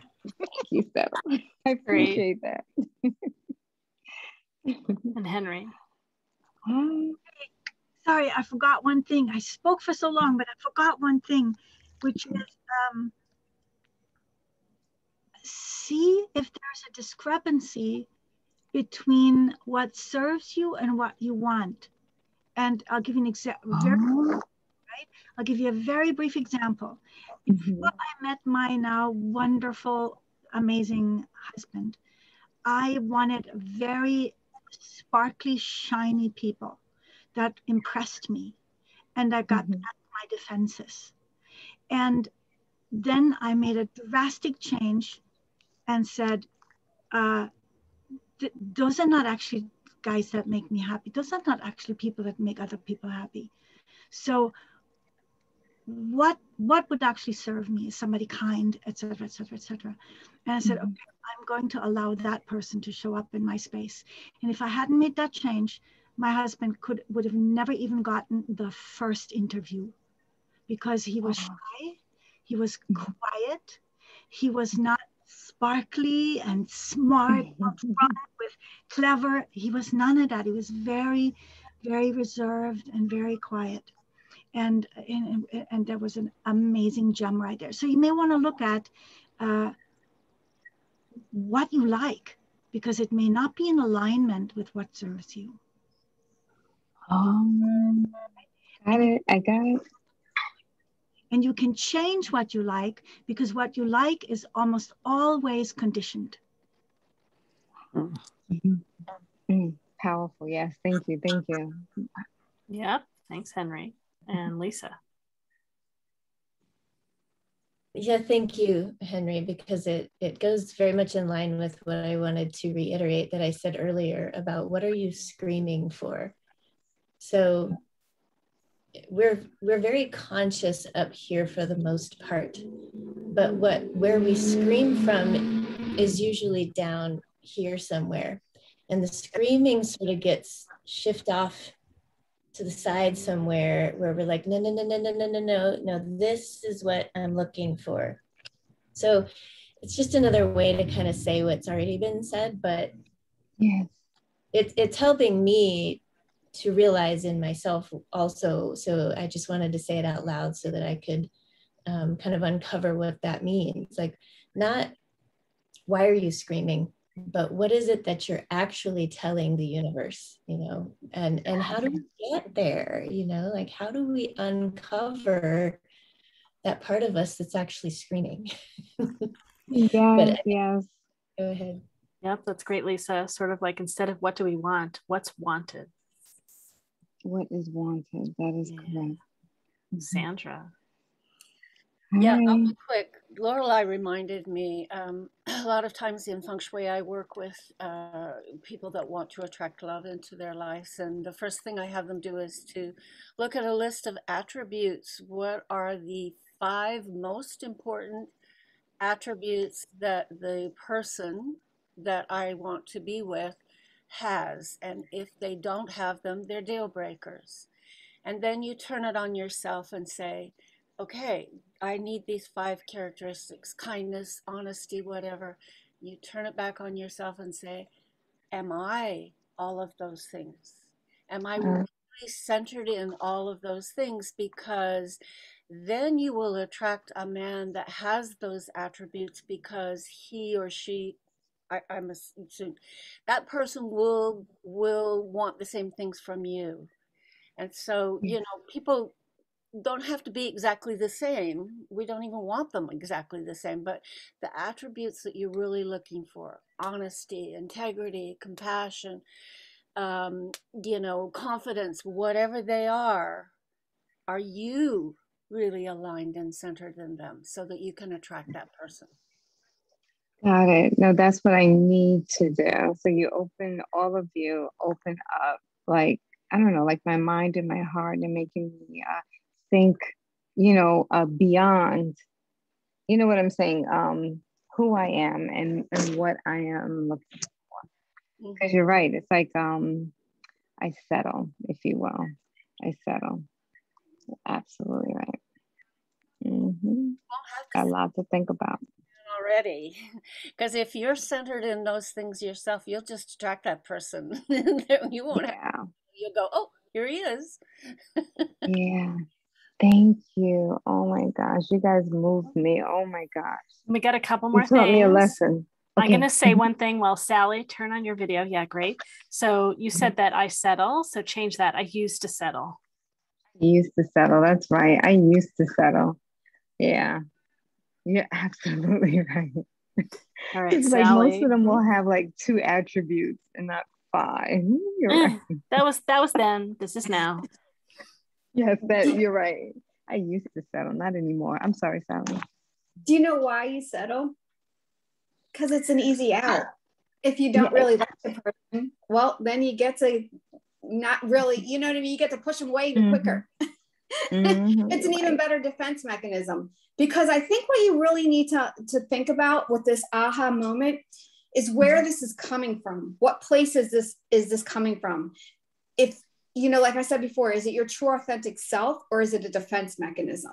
So it mm-hmm. isn't even mm-hmm. toning down because there's, you know, like look at Michelle Obama. She's a very strong woman, right? And she Yeah. allowed her husband to love her, but she wore the pants in that family. But you know, Yeah. you know what I'm saying? So Yes. when you settle, it's because that's easier for you to run from. Because if you Mhm. find that perfect man, then what? Now you got to love him and you got to let him love you back. So you're like, well, now what do I do? Got it. Got it. I am getting in my way, in my own way. Yeah. That you is Past are. so tense. true. Past You're, tense. you're keeping a bubble. Pass. I was around- getting in my own way. You're mm-hmm. keeping a bubble around you to keep yourself safe from being loved. That's what it is. Wow. Yeah. It just blew my mind. That was awesome. Thanks, Sally. All right, Kendara's got something else too. I was sitting here and I got the best exercise for you to do. And it's from a woman named Lynn Grabhorn who wrote a book called Excuse Me, Your Life is Waiting. So you write down your oh. goal, which is I want a mm-hmm. loving relationship. And then you list everything you want to avoid, not what you don't want, because the mind doesn't register negatives, everything you want to avoid. And then you list everything you want in this loving relationship. And then for at least 16 seconds, and I don't know why it has to be, it can be more, but for at least 16 seconds, you talk about it in the present like you already have it. And the last step is you let it go, knowing it's going to happen. It's really powerful. It's from a book called Excuse Me, Your Life is Waiting. So again, you think of the goal, you think about what you want to avoid, then what you want, and then you talk about it in the present, and then you let it go. It's amazing. wow. I will. I will. I have a whole list of things I have to check myself. You know what I mean? Like, like think about it, write it down, and see if this is truly what I want. I appreciate that, and I will. Excuse me, my life is waiting, and it is. It is. But it's not gonna wait Your no life more. is waiting, not my life. It's Oh, Oh, it's no big. I, I think you'll find no, it. no problem. Mhm. Yes. Thank you. Thank you so much. That was Great. awesome. Great. Well, thank you, everyone, practitioners. I know all sorts of juicy wisdom in here. So this is great for everyone and great for the recording of everyone that watches later. Thank you, Drea, for letting us go deeper and deeper and playing. Thank you. Thank you, everyone. I appreciate that. I have a lot of uh, soul searching, and this is this is a good activity for me. It really is. Thank you so much. I appreciate everyone. Oh, you're very welcome. All right. We've got someone else in line. All right. Victor. What is your question? Hello, everybody. Can you hear me? Um, I'm just um, uh, my my question is um, I'm I'm just feeling really overwhelmed in life right now, and um, I'm having a lot of um, uh, guess medical problems around uh, a recent cancer diagnosis, and I um, and I'm trying to I guess, stay hopeful. Um, and it's hard sometimes. And I guess I am hoping to get any tips on how I can uh, keep a positive outlook on life.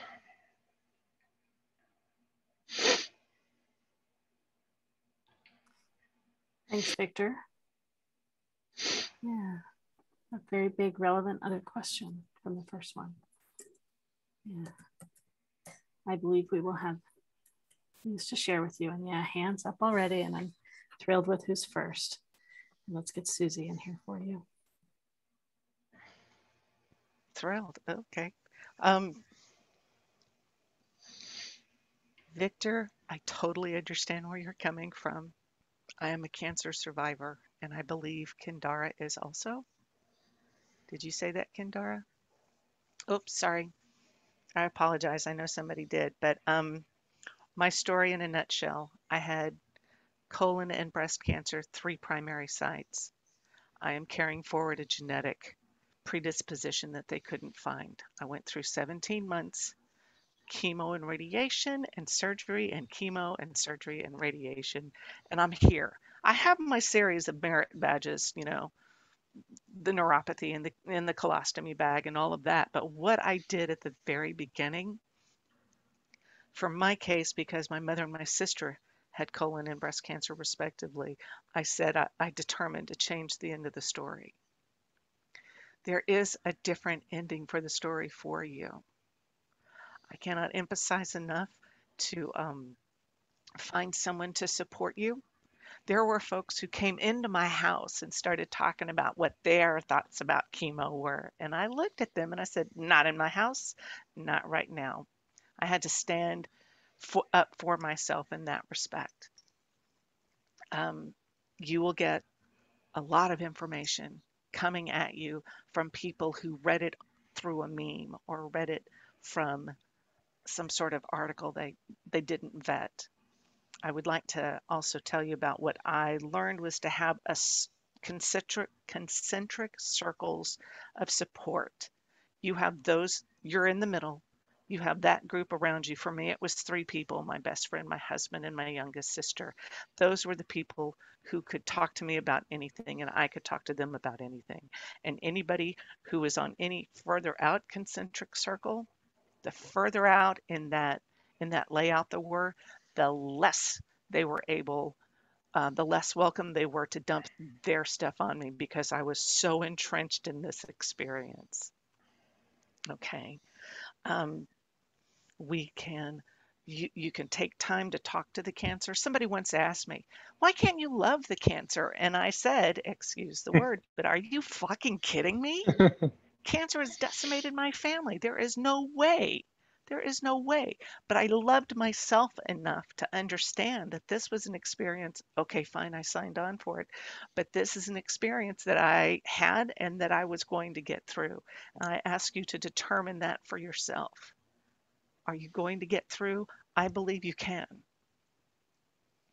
And on a personal, non marketing note, call me, talk to me somehow, and I will be there for you and help you look at this in that way, just as a cancer survivor, not as a practitioner right now. But find somebody who will support you, who will advocate for you, because right now your brain is like, oh man, what's going on? Especially when you first get the diagnosis, and then you can determine how you're going to do it. Um, advocate for yourself. Doctors don't always know everything, they know what they've been taught. And so having someone with you to reiterate the stuff. I have really bad neuropathy because the doctor just blew it off. I don't want that to happen to anyone else. It's it's dreadful. Um, I you know, right now, when it comes to cancer diagnosis, it, I, I don't want to get glib about it and say, oh, this is what it's about and the metaphysical meaning of it. This is your body doing something really weird and unpleasant, and it's it's growing at an exponential rate. Um, I, I don't know. I'm really just email me and let's talk. And I'll be happy to walk with you through this because it's I don't wish it on anybody. not even people I don't like. I don't wish it on anybody. So trust that you will get through it. Trust that you will have a presence of mind so that you can make some decisions, but also trust you're going to have really bad days and you'll have good days, but you have people around you who will love you and who you can trust. Um, yeah, that's that's what I have for you right now. And if I come up with something else, I'll let you know. But yeah, I'll put my email address in the in the chat for you. Yeah, I appreciate it. I love to I love to email you. Oh yeah, okay. So yeah, you're not alone in this. I can't say that enough. You're not alone. Okay. So thanks, Victor. I appreciate your vulnerability in sharing that because yeah, it's a booger. Thanks, Susy, for going first. Audrey. Hello, Victor. Um, I want to tell you that um, I saw this image for you as a turning point. It's like a road that just turned to a different direction. Uh, today, I have a spirit guide with us, uh, a lady spirit, and she wants to tell you that you have come a long way. Maybe uh, perhaps you worked really hard, or that your life was uh, stressful there were things uh, in your life that was just too heavy. And so it's almost as if you're taking a turn now. You're taking a vacation or you decide okay my life is going in a different direction. So please um, you know i want to really tell you that this is a, a good thing. You know i'm sorry that the cancer is not a good thing but your life direction is a good thing that it has changed so at this point in time, uh, I see it still as a one, two, three. You know, it's as if uh, you're going to change some of the details, uh, your life philosophy at this point. Uh, you're changing that, and then you're going to go through this period, and then you're going to go to another period. So you are doing this modification in your life right now. Uh, overall, it is to condition yourself to relax, take a lot of a deep breath enjoy the sun enjoy the, the the grass the roses or you know enjoy everything right? And you ask how can i make it through? How can i survive? And this is how you survive is to take in life. Instead of saying i give up you want to start living. And uh, the way that you can start living is by having some new friends or new energy coming into your life new friends is a good thing or other people who are of relationship with you but in a healthy way so i definitely see you uh, taking a vacation I, t- I see you uh, probably making more friends with a younger crowd or uh, you know even uh, boosting your love life and all that good stuff so it is very very good just know that the turning of the life is wonderful. This is the best news that you need. Uh, this is what you need to do to change what was uh, stagnant in your life before. Best of luck to you. Yeah, I, I, um, I definitely feel like there have been a lot of positive changes in my life, but I kind of feel a little bit thrown off by the whole cancer thing. Like it kind of feels like it kind of yeah the, but there are definitely i definitely feel like i've reached a turning point and so many things are changing right now for me. Let me just add that very quickly. I want to give time to other people to, to speak to you. But uh, i would say that the cancer is the way your body tells you that it's overburdened uh, that everything that you received or that you have done accidentally or not knowingly to your body has been uh, wrong in a probably in a wrong way, accidentally or unintentionally or unknowingly. But this is a good sign that you are now learning that you are becoming aware so that you can change that course so that you can do something different. So i'm sure you can do it. You yeah this is a very good place to receive the message, to be aware, and to go on that merry way. well, thank you. Thanks, Audrey. I'm going to jump in and share just a, a little bit. So I love that Audrey was using the phrase about turning and turning towards. Um, one of the phrases that you said, Victor, was I'm trying to stay hopeful. So I get where you are right now and you don't feel as hopeful as you want to feel. And for me, anytime I say or I hear anyone else say the word try, there's a lot of meaning for me in the word try. So, for example, try to touch your earphones. You're touching your earphones. Try to touch your earphones. Try. You're touching still. Just try. Right, exactly. So whenever we're trying, there's a, there's energy towards and energy away from. So anytime we hear ourselves, it lets us know that we're we're pushing away from or pulling away from whatever it is that we believe we want. And so by saying it and thinking it that way, we're giving that message and reinforcing that message to all of ourselves and to the universe.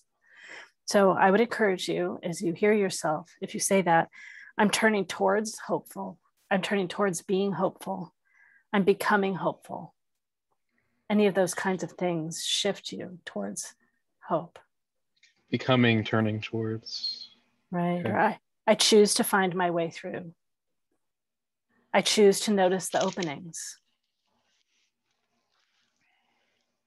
Right the words i choose is that it's finding the willingness in yourself. I'm willing to be hopeful.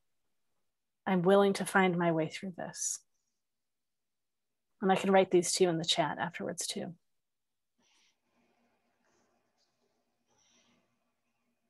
And Henry's going to be next. Victor, thank you for sharing something uh, like this. That's very challenging. Uh, I really appreciate you uh, being vulnerable like that. I'm not the only one saying that, uh, especially because uh, there's a lot of baggage with this kind of diagnosis. The culture has a lot to say about it. And so I, I really commend you for being willing to put this into space and not holding back and not second guessing. So I pulled a, a, a number of cards right from the beginning before I heard everyone else because I, I just wanted something that's not influenced. So uh, I'm, I'm not going to say what the cards are because I, if you're not a tarot reader, it won't mean much to you, but I'll say what they'll mean. So I'm going to look down because I'm reading them. So the first card really makes clear that you're in a in a very difficult place where you will kind of want to curl up and uh, and so you're not you're here and actually like reaching out which is much much bigger a deal than you may realize because it would be very easy to say it, it's kind of hopeless and what could anyone say that would make a difference? And you don't have that mindset but maybe sometimes you do. And so that's something to be aware of. Then the next card uh, shows me that you you asked a question. How can you stay positive? Is this is this pretty much what you asked? Um, yes. Okay. Just wanted to make sure I remember that correctly. So um, the best way to stay positive is with uh, a beginner's mind. And uh, the way I see beginner's mind is to have a child's mind. What do you hear when you hear child's mind?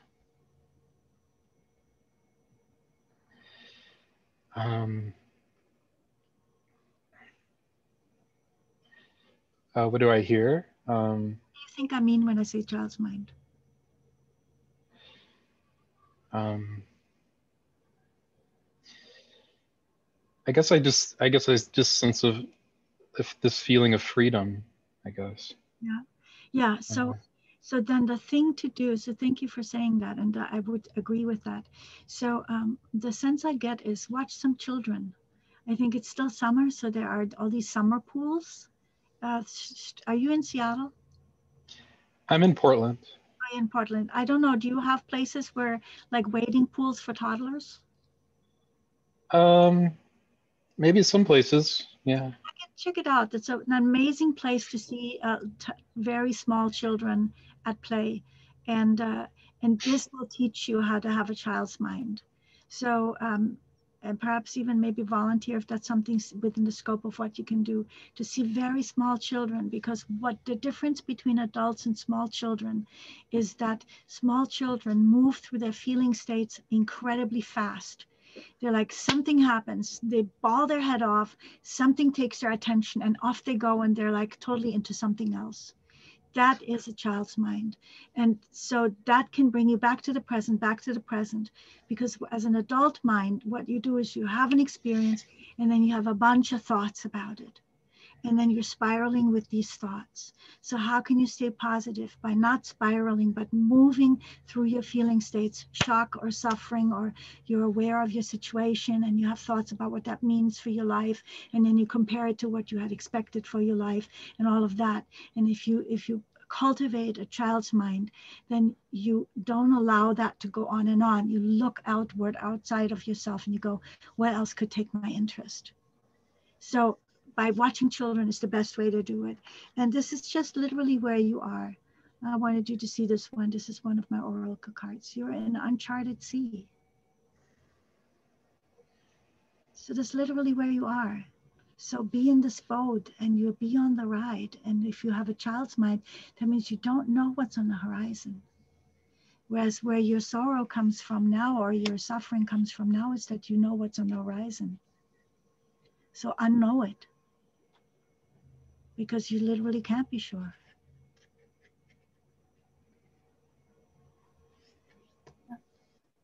Henry, that's great. Thank you. Yeah, is there anything else you wanted to share finishing up? Yeah, I just wanted to know if this spoke to Victor. Uh, he, yeah, that sounds just like. Yeah, I guess I, I, could, I, I find myself getting caught up in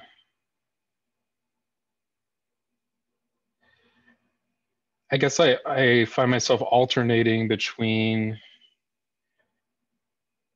being or feeling good and being hopeful about the what the outcome could be but uh, other times i'm just really afraid and and i guess i need to to just stay open then to the fact that anything could happen. And When, and yeah, I, yeah, they say, yeah, when you feel afraid, that's when you surround yourself with the the group of people, the small group of people that Susy mentioned, and that's when, like Henry shared, you go watch the kids. We got Sally up next. Okay, hi, Victor. So um, I'm the other person that had cancer. um, so two years ago, I was diagnosed with stage four cancer. Um, and I was the worst um, was seven months. That was my prognosis. Um, and even the best was, uh, I think it was 25% for two, 10 years and 50% for five years. That, that was what um, that I was given basically. Um, my family all said, oh no, they told you to go home and prepare, you know, I didn't hear any of that. I didn't hear, I didn't, I, I didn't even really comprehend the prognosis until like you, like not years later, but months later. Right. Because I was like, no, I'm not going to die. I told my oncologist I refuse to die. Now, I'm not trying to tone it down for the people that have passed from cancer, right? At the end of the day, we don't have control of what's going to happen. But I can tell you that a negative mindset is not going to get you to a healing place, okay? A positive mindset might not get you cured, but a negative mindset is definitely not going to get you where you need to be, okay? But at the same time, you have a lot of emotions to process, and it's completely natural for you to be going back and forth. Okay. But on the times when you're starting to doubt yourself, you just have to get yourself back. You have to snap back out of it and you've got to stay positive, right? You've got to think to yourself that you have no control over it and that worrying isn't going to do anything for you. Okay. And fear isn't going to do anything for you. So you have to just, because what's going to happen is you're going to worry and you're going to not enjoy your life that you do have. You know what I mean? We don't, none of us know what, how much time we have left. We could walk across the street and get hit by a car. We don't know. We have to enjoy every minute like it's, you know, not our last, but, you know, we just have to enjoy our life. When I looked at your cards, the interesting thing about it was um, we got two cards, 32 and 23, which were the almost, you know, reverse numbers. One says waiting and one says patience. Okay.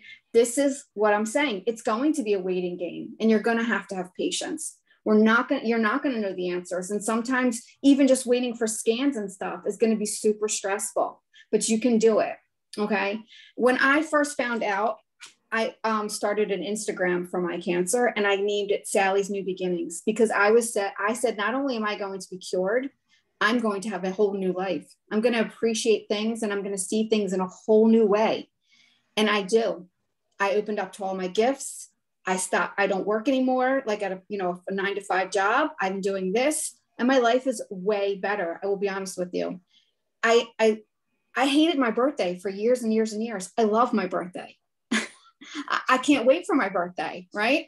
Every little thing that used to be annoying to me is just, I mean, like I said earlier, I don't care how much weight I gained. I don't care what I look like. I don't care if there's gray. I don't care if I have makeup on because you know what? I wake up every day and I breathe. And you're going to get to that place where you're going to appreciate so much about your life. Okay. But the other card I got was Phoenix Rising. Okay. This is a powerful, powerful sign. You will rise from this okay and you have the ability to do that you have to be care um, you have to take care of your body and you have to be gentle with your body and you have to be understanding with your body and you have to come up with a plan that no matter what you're going to do whatever it takes to get past this and the other advice i have is not to always listen to your doctors do research find alternatives find people that will listen you know be your best advocate but also, what I got was admiration. Okay. Again, you have to admire yourself. You have to always admire yourself for the strength and find other people like survivors like us who you can admire, who you can look up to. Okay. And don't focus on the people that haven't made it, focus on the people that have. Okay. Because that's what's going to give you the hope. But also, um, the one theme with this was there was three twos and five threes and they're all angel numbers. They're very powerful angel numbers that will let you know that you're being divinely guided and divinely protected through this journey. That no matter what, you have people up in, you know, beyond that are protecting you and watching over you. And they are going to do everything in their power to help you through this. And they won't give up unless you do. Okay. And again, you can message me as well and, um, you know, what I would say also, though, don't go on all those support groups. You know, you can go on the support groups for what you need the support groups for, but take a break because you'll see stuff that you will just bring you right back down. And some people get sucked in that. You know what I mean? Like they get see, sucked see in things this, or like, like, like, like, like if someone passes away or if someone says, oh. you know, it, it, can suck you into a negative space, right? Where you're like, oh no, this person didn't make it or that. But again, that's going to happen because that's just life but you need to be around the positivity. And those groups are great when they're great but they're not when they're not. Does that make sense? So yeah. if you feel yourself getting overwhelmed by what you're seeing or hearing just take a step back and do something that you love and enjoy and talk to someone that's going to make you feel better instead of worse. Does that make sense?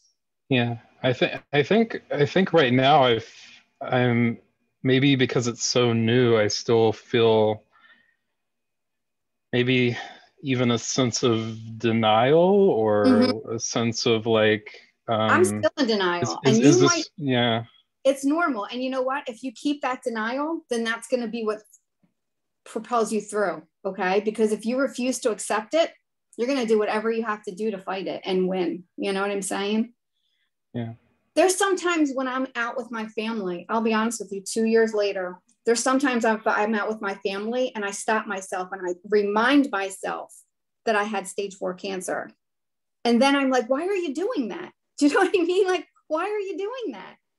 But I'm in such denial. I've gone through it this whole time that I have to remind myself sometimes, but it keeps me grounded. But you're going to process a thousand different emotions every single day. And it's okay. You just have to process them right? But but keep your mind on this phoenix rising right? Because i really feel this is a sign for you. This is a sign that you you have the everything in you to, to fight this and win okay? I hope that helped. Thank you sally. Thank sandra yeah victor i'm i really appreciate you sharing also. I am also a cancer survivor two times and so I'm going to speak from that place. And I love the, the uh, feedback that you've been getting. Um, cancer comes, it's very loaded. It's a disruptor, number one, and it comes with this whole huge baggage of fear and anxiety and the first time I got cancer, I had and I had stage two cancer, so my prognosis the first time was really good. But I had people who avoided me and walked across the street when they heard I had cancer. I had people call me up on the phone and say, "I heard you're dying." Just a, a ton of fear in my direction. And you have enough fear anyway. So, what I learned from the first time was to surrender um, to surrender to what is. And I'm going to disagree just a little bit about denial in the sense that we, with cancer, at least for me and for most of the people I talk to, we go between denial. It's not true. It can't be happening. Why did it happen to me? What did I do to do this? And fear. And both of them paralyze us. The, uh, the denial is denying, for me, that you're going to have that it's a death sentence, even if it's stage four. And so if you say it might be a it might be a death sentence, it might not, as so many people have said, we don't know what the outcome is, but if we decide that it's you know a death sentence, and my brother had cancer and died, and he did that. He decided he was just going to die. I'd call him up, say, "How you doing?" He'd say, "I'm dying." and and he did and so if you surrender to it the facts are what you can't change is that you have cancer. You can't change that. So surrender to it. Now what do you do? And what are the steps that you go through? If the fear comes up say okay i'm feeling afraid. What's this about? And that can take you out of the fear and into solutions. And so to stay positive, I would just say, okay, I'm feeling afraid. What's this about? And maybe it was somebody had been talking to me or I'd been watching TV and somebody was dying in this medical show or something, whatever it was. And I go, oh, that's not even about me. That's not even my fear. And so mm. then I could let it go and I could ask myself, what are the solutions? Where can I go from here? What can I do? So surrender to what is. There are certain things that you can't change. And then um, uh, move into solution, move into the resources that you have. And I love what Susy said about the concentric circles. The second time I got cancer, it was seven years later. And it wasn't stage four, but it was stage three colon cancer. And I decided I was only going to tell the people that were healers and that were fearless with me and that would be my fearless support team. Mm-hmm. I didn't tell anybody else. And that's not a, a, thing that many people can do, but I decided I wanted people around me to support me mm-hmm. who had the same mindset that I did. And I was really careful about that and conscientious about it. You might have already moved past that point. I had that choice at the beginning because of my previous experience. Um, and you can choose to tell people, stop. When they start being negative and fearful with you, just say, stop. Can't handle that right now. Talk to you later and and just take control. That's one way that you can take control of your situation. Refuse to allow other people's fear to come into your environment and then deal with the fear that you have yourself naturally. And remember that no matter what i or anybody else says i love this uh, um, plato said this is opinion is the lowest form of knowledge Mm. So really be conscious of whose opinion you let into your world and into your mind and into your heart. Move into your heart, let your heart guide you. And that includes the doctors, because the doctors sometimes are very biased. So I don't remember who it was who said, explore all the avenues that are out there for you.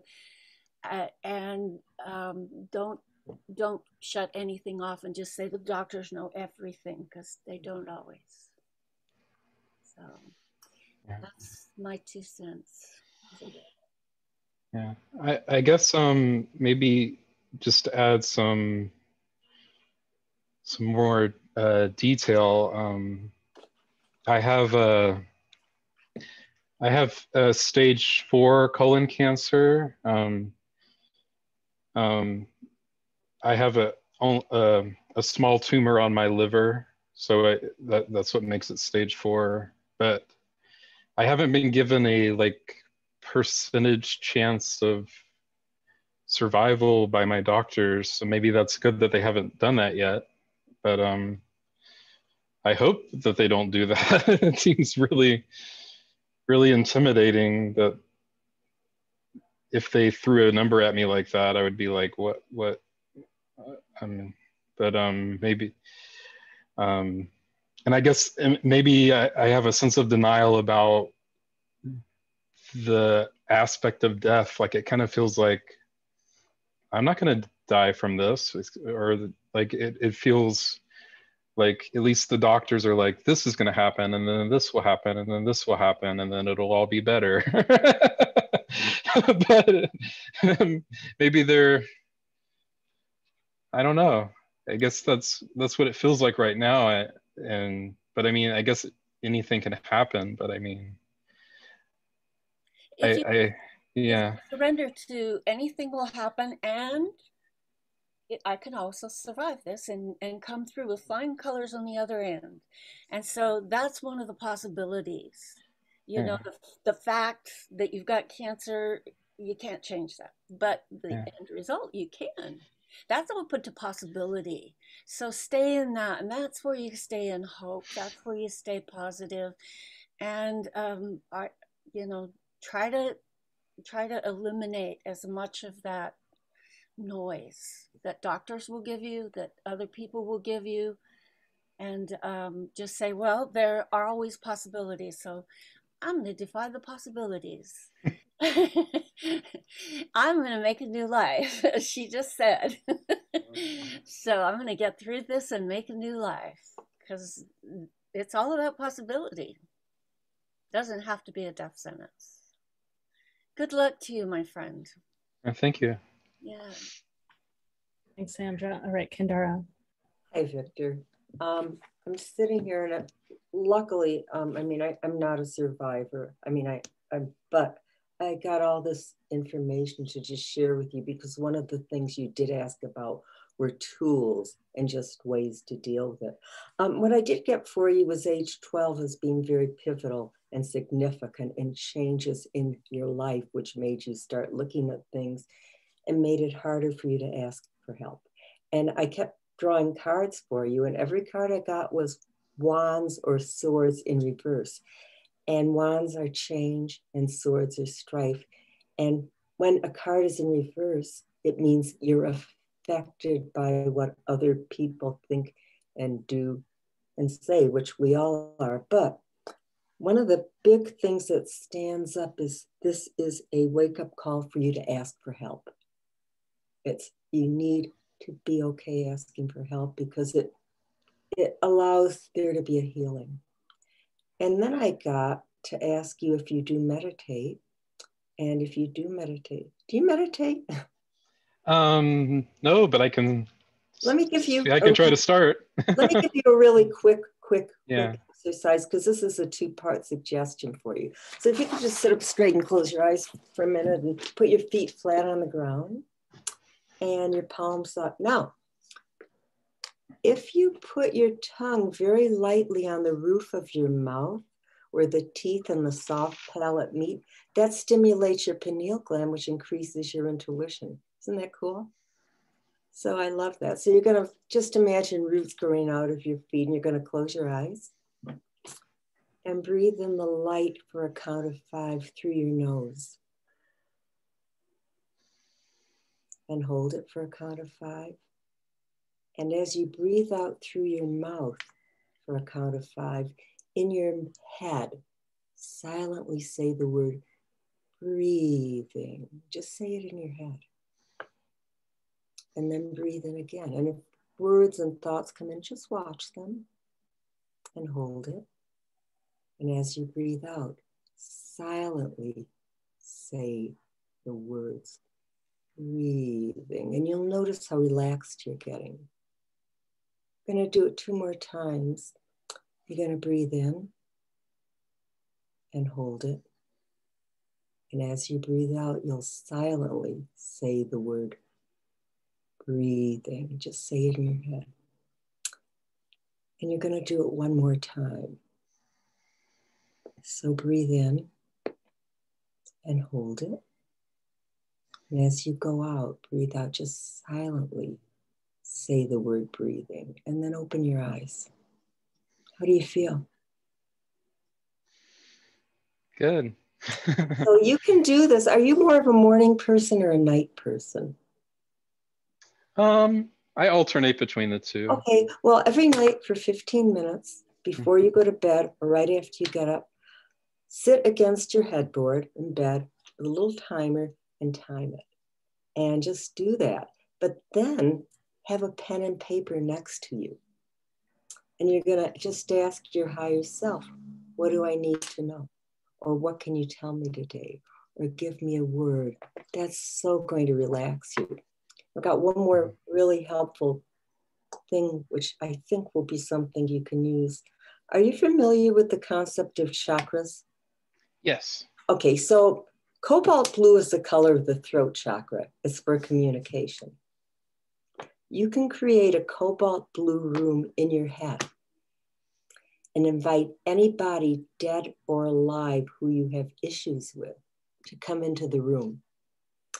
And what you're going to do is you're going to say to them, you're going to tell them what you, you're going to tell them how you feel, you know, just in your head. You don't have to build a room. Someone said, Do I have to build a room? No, you do not. going to tell them how you feel. And then you're going to let them tell you how they feel. And once they've done, and you may not hear the words, but you'll get the energy, then you're going to tell them what you need. And then you're going to let them tell you what they need. And then you make an agreement and you shake hands and you leave. Now, here's the trick it's all aspects of you. And it's a mm-hmm. very, very powerful thing. So I hope this gives you a little something to take with you. You know, my sister was diagnosed with stage four cancer, and she lived so much longer because she just, you know, knew she had it, but then she didn't dwell on it. So, absolutely do what you need to do, and you'll know what to do. But don't let fear overwhelm you and ask for help. It's okay. And thank you for letting thank you for letting us read for you and for sharing this. All right, thank you. I appreciate it. Welcome. My pleasure. Kendara, yeah, one of the sentences that came to my mind from Kendara's share was if someone in childhood told you that you couldn't or gave you the impression that you couldn't, it might be so important just to practice saying, I can. Right? That's and yourself feel that I can. Yeah, I I feel like um since getting this diagnosis, I've there's a lot of family members I haven't talked to, and now I'm talking to them again wow. and they're coming into my life again so i feel like a lot of things are coming up around family for sure so part of that too i so, think susy's yeah. wisdom of who you allow close into your life and who you don't and the family yeah. members that are not helpful don't need to be here right now yeah yeah and lisa is next. Hi there. Hello. Um, I've had a lot of energy moving and um, some notes that I wrote down, but I really feel like everything that was said prior to me starting this with you was exactly the way that it was supposed to be because I am going to ask your permission if I can work a little bit with your heart frequency um, and that everything that everybody has said has prepared you for this moment for me to work a little bit with your heart. Um, okay. If if you're okay with that. Um, I'm first, okay with that. Okay, good. The first message that I got was that you have a heart of gold. Um, and but let's see, you have the heart of gold, but you you tend to destroy the love for yourself by believing in in the thoughts that are um, creating the terror and the fear. And I, I don't want to dismiss or diminish the tumultuousness of this experience, um, like everyone has also spoken to already, um, but to um, not only has what everybody said prepared you to feel more free from um, it being so devastating, but um, this is where the morphing mind magic um, starts to okay. I'm hearing the word like perform. So as i as i tend as i tend to your heart frequency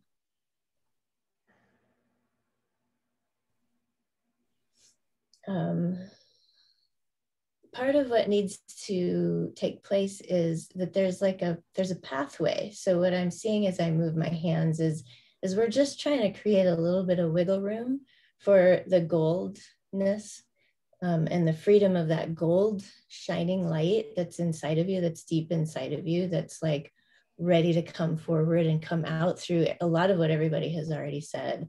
Um, the expression of your life and the, the road that it has turned, the, the path and your path and how it's turned is full force and it's very powerful. So the room that we're creating is a, a like a pathway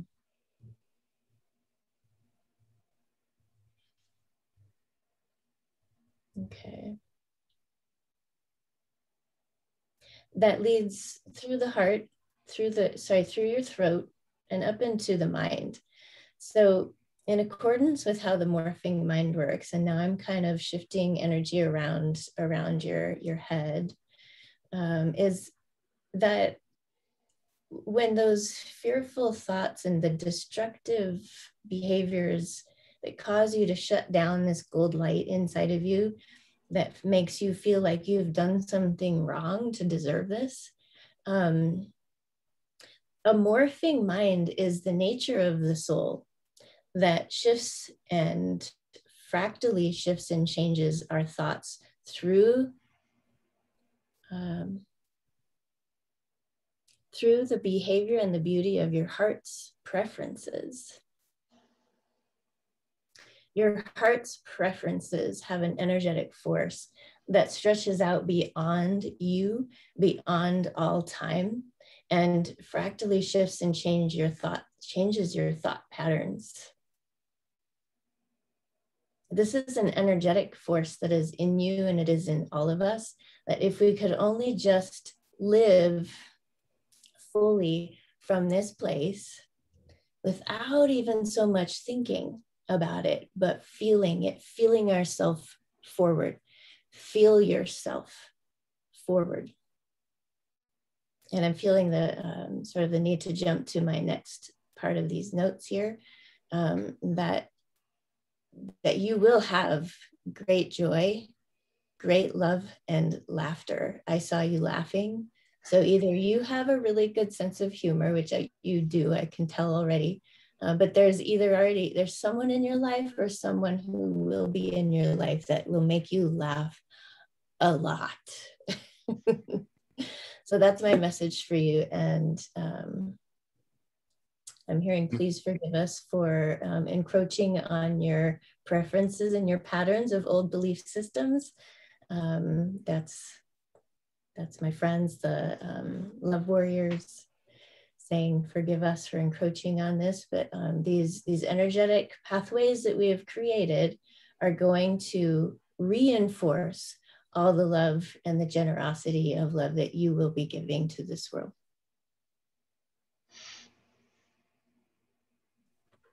Thank you. I'm, I'm uh, looking forward to having more laughter, for sure. it's there. It's there. Thank you, Lisa. It's Susy again. So about laughter, Victor. Oh, Susy, we can't hear you well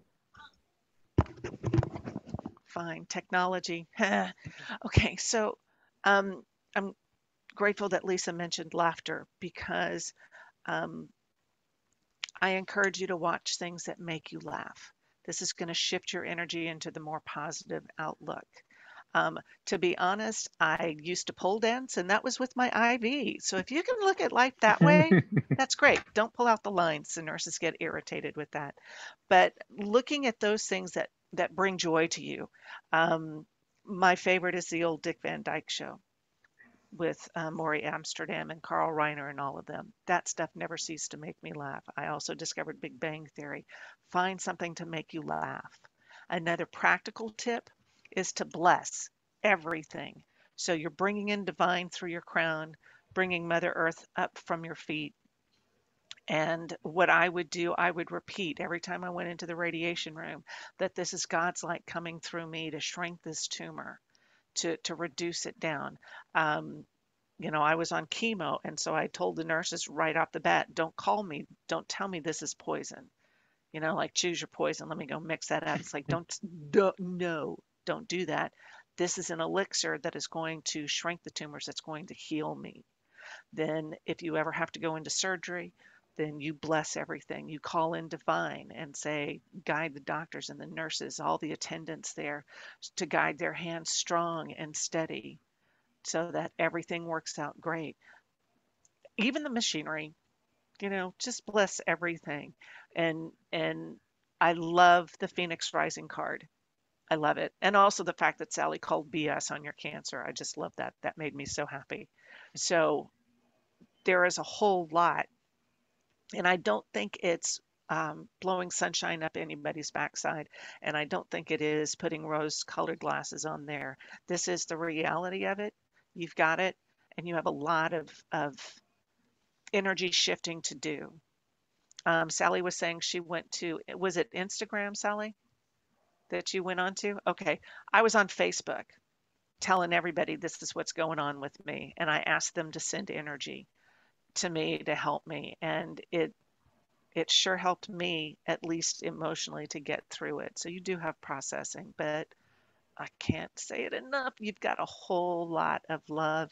And um, well, now that they're letting me see, you've got so many guides behind you who are there saying, okay, we got called in, we're good tell us what we need to do. Tell them what you need them to do. So when you're having those moments of fear, ask them to reach a hand out to you so that you can hold on to it and know. Um, actually, I've been running light language while I've been muted to help you shift and um, to help you process faster with more grace and ease. And I will continue to do that each time I light my morning candle. I'm throwing you in on the prayer pile because we all know now you're going to make it through. You will be changed. There's no denying that. But you'll be changed in such a way that there will be a deeper appreciation for what you have and a deeper connection with divine. So I think everybody would agree. You've got this. It's okay. So many blessings to you. Thank you. Mm-hmm. Thanks again, Susy. All right, Sally. I just have one more thing to add. Um, it was more of like a tip. Um, one of the things that got me through a lot of my treatments because they were kind of rough. Um, had a, had a brain surgery. I had radiation. I had you know my immunotherapy, fevers, rash, my whole body. Um, really went through it. Uh, shoulder surgery. I mean, you name it, I had it uh, oh, MRSA infection for my port. Again, you name it, I had it. One of the things that really got me through was Reiki. Um, I got Reiki a lot. I had people send me Reiki. I um, went to, um, pre- well, this was before COVID, you know, I went to a girl who did energy work on me. I honestly feel like it was one of the things. That's why I said kind of think outside the box. You know, no doctor told me to go get Reiki right i just did that myself right you know no no doctor told me to juice vegetables i did that myself you know but the reiki really really really helped me a lot um, it helped me through the, the treatment it helped me through the surgeries it helped me through I, I, can't even, and I'm not a Reiki practitioner. I, I kind of took the courses now, but I still kind of need to work on it. So it's not like I'm trying to get you, you know what I mean, to come for my services. I just truly believe in the healing power of it. So it's something to keep in the back of your mind. Um, and what I found out was now it's different with COVID, but um, my uh, my hospital actually offered Reiki for free, and my and the hospital even didn't even tell me. I could have went right when I was getting my treatments for free, and I didn't find out until COVID. So again, find these ways of you know people will send it to you you can maybe have it at the hospital find a practitioner that will work with you if you can't afford it you know there's reiki um, shares so yeah but look into it because it, it literally saved i think was part of the reason that saved my life. So i just wanted to share that. Thanks sally. All right and kendara. I just want to add one more little thing because it came through so strongly. And when i think it was susy got the message that you'll be reconnecting with your spirituality the message came through and also with yourself. You will reconnect with and find your essential true self. And everything is as it is meant to be. So, and can I send you Reiki also? Would that be okay? Uh, yeah. Okay, I'd be honored to do that. I just wanted to throw that in. Well, thank you. You're very welcome. Hmm. Let's see, and I want everyone just to be able to make a choice here. So I know Lisa, I think Susan hasn't shared yet, so her share is going to be longer. So did you are you okay waiting a few more minutes or did you want to jump in now? If I could jump in now, would be great. I just, you guys, I gotta go. I'm in Montana time zone and been working all day. So just wanted to throw my name out there and that you can find me at lisaknowlton.com. So it's L I S A K N O W L T O N. And I'll just leave it at that. You can see what I do there. So blessings to everyone. And I'll put Lisa's info in the chat again right now too. Thank, Thank you so you. much, Lisa. Lisa was the inspiration for this panel again. Thank you so much, Lisa. All right, Susan. I just I just noticed that Henry needs to go too. So if you want to give her a second to to say, I can, yeah, we'll and my little thing is going to be little. It will, it'll, I'll keep it quick. Great. Go ahead. Yeah, we'll get Henry on in a moment. Go ahead. Oh, yeah, go ahead, Susan. You can go ahead. Oh, okay. I was just I want, want to honor Henry's time. Um, I wasn't sure if I could speak to this or not because my mom is currently going through treatment with cancer.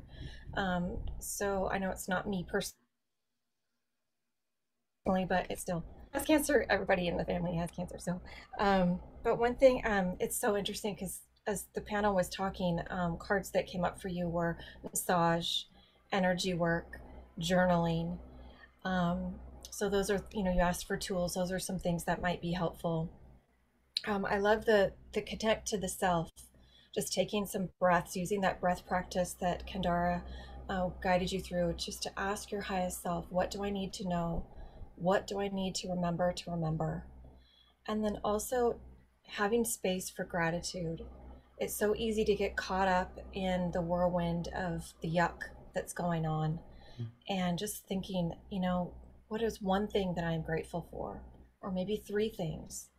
And I am so grateful for dot, dot, dot, fill in the blank. I'm so grateful for. I appreciate. And just allow yourself to be in that place of being grateful and loved and blessed.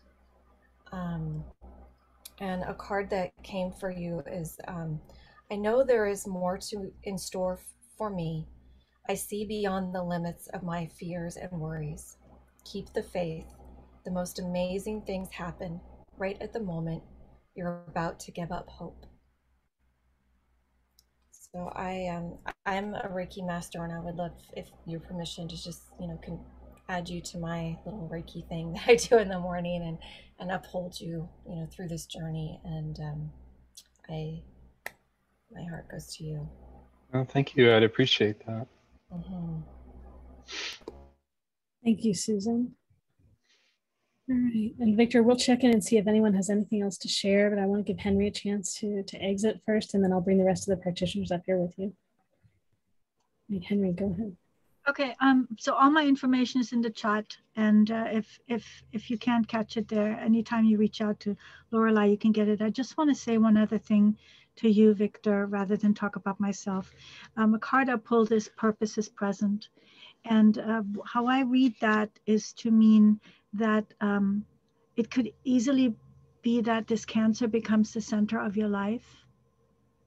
And I, I think that if you allow yourself to concentrate on your purpose in terms of being of service yourself, imagine that, you know, to enlarge your life. So I felt it, that was I don't want to say more about it because I think you nodded. I think you know what I mean. So that's all I have. Thank you all. It's been a privilege and it's been a privilege to meet you, Victor. Ms. Henry, it's been great to have you here. And please do just say your contact info so people can find you if they want to reach out. Um, HenryIndiaHolden.com. And um, if you want to email me, it's uh, henry at henryhello.com. But you can just by going to my website, you can find out everything and anything that you need to find out. All right, blessings. Great. Thank you so much, Henry. All right, practitioners, just bring the rest of you here. If there's anything else we want to share with, with Victor. Thank you for sharing, Victor. Really, thank you for opening up and allowing it's my cat's butt. thank you for opening up. Uh, thank you, thank you all for hearing me out. Yeah, and I guess uh, one of the verbs that comes to my mind too is the idea of stalking.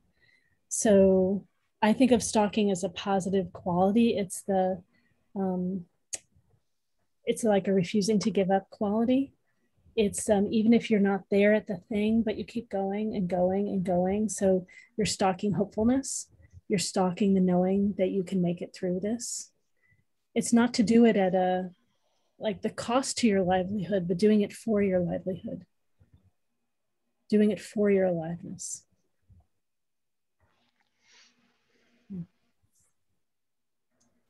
All right, well, we got Sally back on now. Yeah, practitioners, any other practitioners? I think we've got Sandra here. If you want to turn on your video, I'll bring you up front too. Yeah. Thank you, Victor, so much for, for sharing your question. Um, yeah, we never know how the, the themes will, will unfold. Thank you so much. Great wisdom for everyone. All right, practitioners, we have we have made it to the end of our two and a half hours. Um, we're going to go through and just share, um, everyone go through and we're going to share a bit about, again, who we are, our modalities, and then how people can reach out to us um, on the web. So it's here on the video. So when people watch later, they can find us if they want to. Um, mm, unwind. And let's, so I guess, let's see, I think who was here early on. I remember, but I guess um, Kendara and Susy, um, why don't you start off? Well, I loved working with every single one of you here. The energy was amazing, the connection was great, and there was so much synchronicity and backup. So it was a pleasure and an honor. So I hope to work with you again. Thank you, Laureli. It was great. And Kendara, did you say your website or something like that? Oh, okay. My website is, I'll put it in chat, but it's kendaralaurel.com.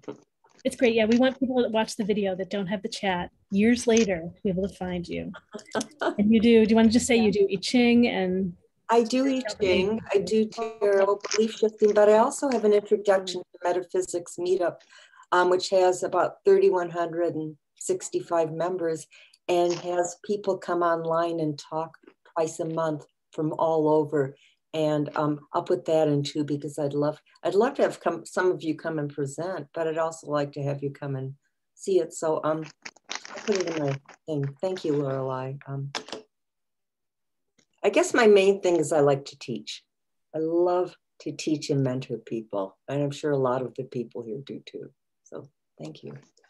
Great, Kendara, and I got all your information in the chat for everybody. Yay, thank you. Right, great, including your special. All right. Yay.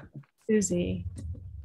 I'm Susy Parker Goins with Blue Lightning Healing and Blue Lightning Healing Meditations. I channel, and even as we were doing tonight, I was doing light language and past life exploration and energy healer. Um, I've got a podcast, Blue Lightning Healing Meditations, and you know, look me up at bluelightninghealing.com, and you can reach me at Susy at bluelightninghealing.com. We have a thread here. Um, I am so grateful to have such a loving and supporting group of practitioners here. This has been really moving for me. And so I'm grateful to everyone and I hope to see you at another event. Blessings to everyone. Thanks, Susy. And I didn't give morning, but if maybe Sandra and then Sally. Hi, I'm Sandra Jeffs. I'm an empath. I'm clair, uh, clairvoyant. Um, and I have Soul Essence Awakening, which is energy healing, and it combines all of the different modalities that I've done over the past 40 some odd years. I'm a feng shui master, and uh, I bring that into my healing also because we live in a physical world, we live in a physical body, and feng shui is about aligning our inner self with our physical world and our physical being. Um, I also make jewelry and particularly spiritual jewelry because everything is energy. And the gemstones, the jewelry, the metal that you wear uh, affects us and can enhance us if we're intentional about choosing what we put on our bodies and near us. So that's me. You can reach me at sandrajeffs.com. Thanks, Sandra. All right, Sally, and then um, Audrey and Susan. Hi, I'm Sally from Sally Spiritual Guidance. I'm a intuitive psychic um, tarot and oracle card reader, as well as a psychic medium. I'm on Facebook, Instagram, pretty much everywhere. Sally Spiritual Guidance. You can Google me. Um, my email address is Mama Sally Spirit Girl, but I also just added a Sally Spiritual Guidance one at g- both of them are gmail.com. So if you forget, you can always just try to you know email me at uh, Sally Spiritual Guidance at gmail.com. Um, my Etsy shop is 20% off. Um, I just enjoyed this evening very much. My dog's not feeling well. He's sick, so that's why I wasn't on camera a lot. He's he just turned 13. He has congestive heart failure and he's just not doing well. So I had to kind of keep my camera off tonight, but I was present. I was listening and I'm, you know, I enjoyed it. And I'm just so grateful that you guys all came and I hope you have a great night. Thank you. Thanks, Sally. All right, Audrey, and then Susan. Hi, um, my name is Audrey. I am. Uh, I have a passion for uh, the knowledge like astrology, numerology, uh, tarot, destiny cards, all of that. And I uh, also love to be in touch with our intuitive side. Uh, you know, so I feel that our spiritual presence is developed uh, stronger or empowered by our, um, you know, by our feelings or our reaching out. So all my uh, All my teaching materials can be found at my website, audreyleemetaphysics.com. And I also welcome you all to come to my meetup uh, every Monday evening uh, at Metaphysical Haven. Thank you. Thanks, Audrey. Susan. I'm Susan Watkins with Inspired Life Essential Wellness, and I work in energy healing with Reiki and sound healing. I'm a Reiki master. I'm also a yoga teacher, so I will do some guided meditations and mindful movement to help people just move through whatever blocks physically, emotionally, mentally that might be keeping them stuck. And you can find me on Instagram and Facebook at inspiredlife.essentialwellness. You can also email me at inspiredlife.service at gmail.com. And I have a YouTube channel which has a, a few of my um, meditations and sound healings, um, but I don't have enough subscriber to have my own like YouTube handle. So I think if you just typed in Inspired Life Essential Wellness, you'd probably find me. So it's been wonderful to be a part of uh, this panel and so grateful to have shared this evening with you all. Thank you. Thank you, Susan. I'm Laureli Shimayo. I'm an intuitive eye reader and a body psychology coach.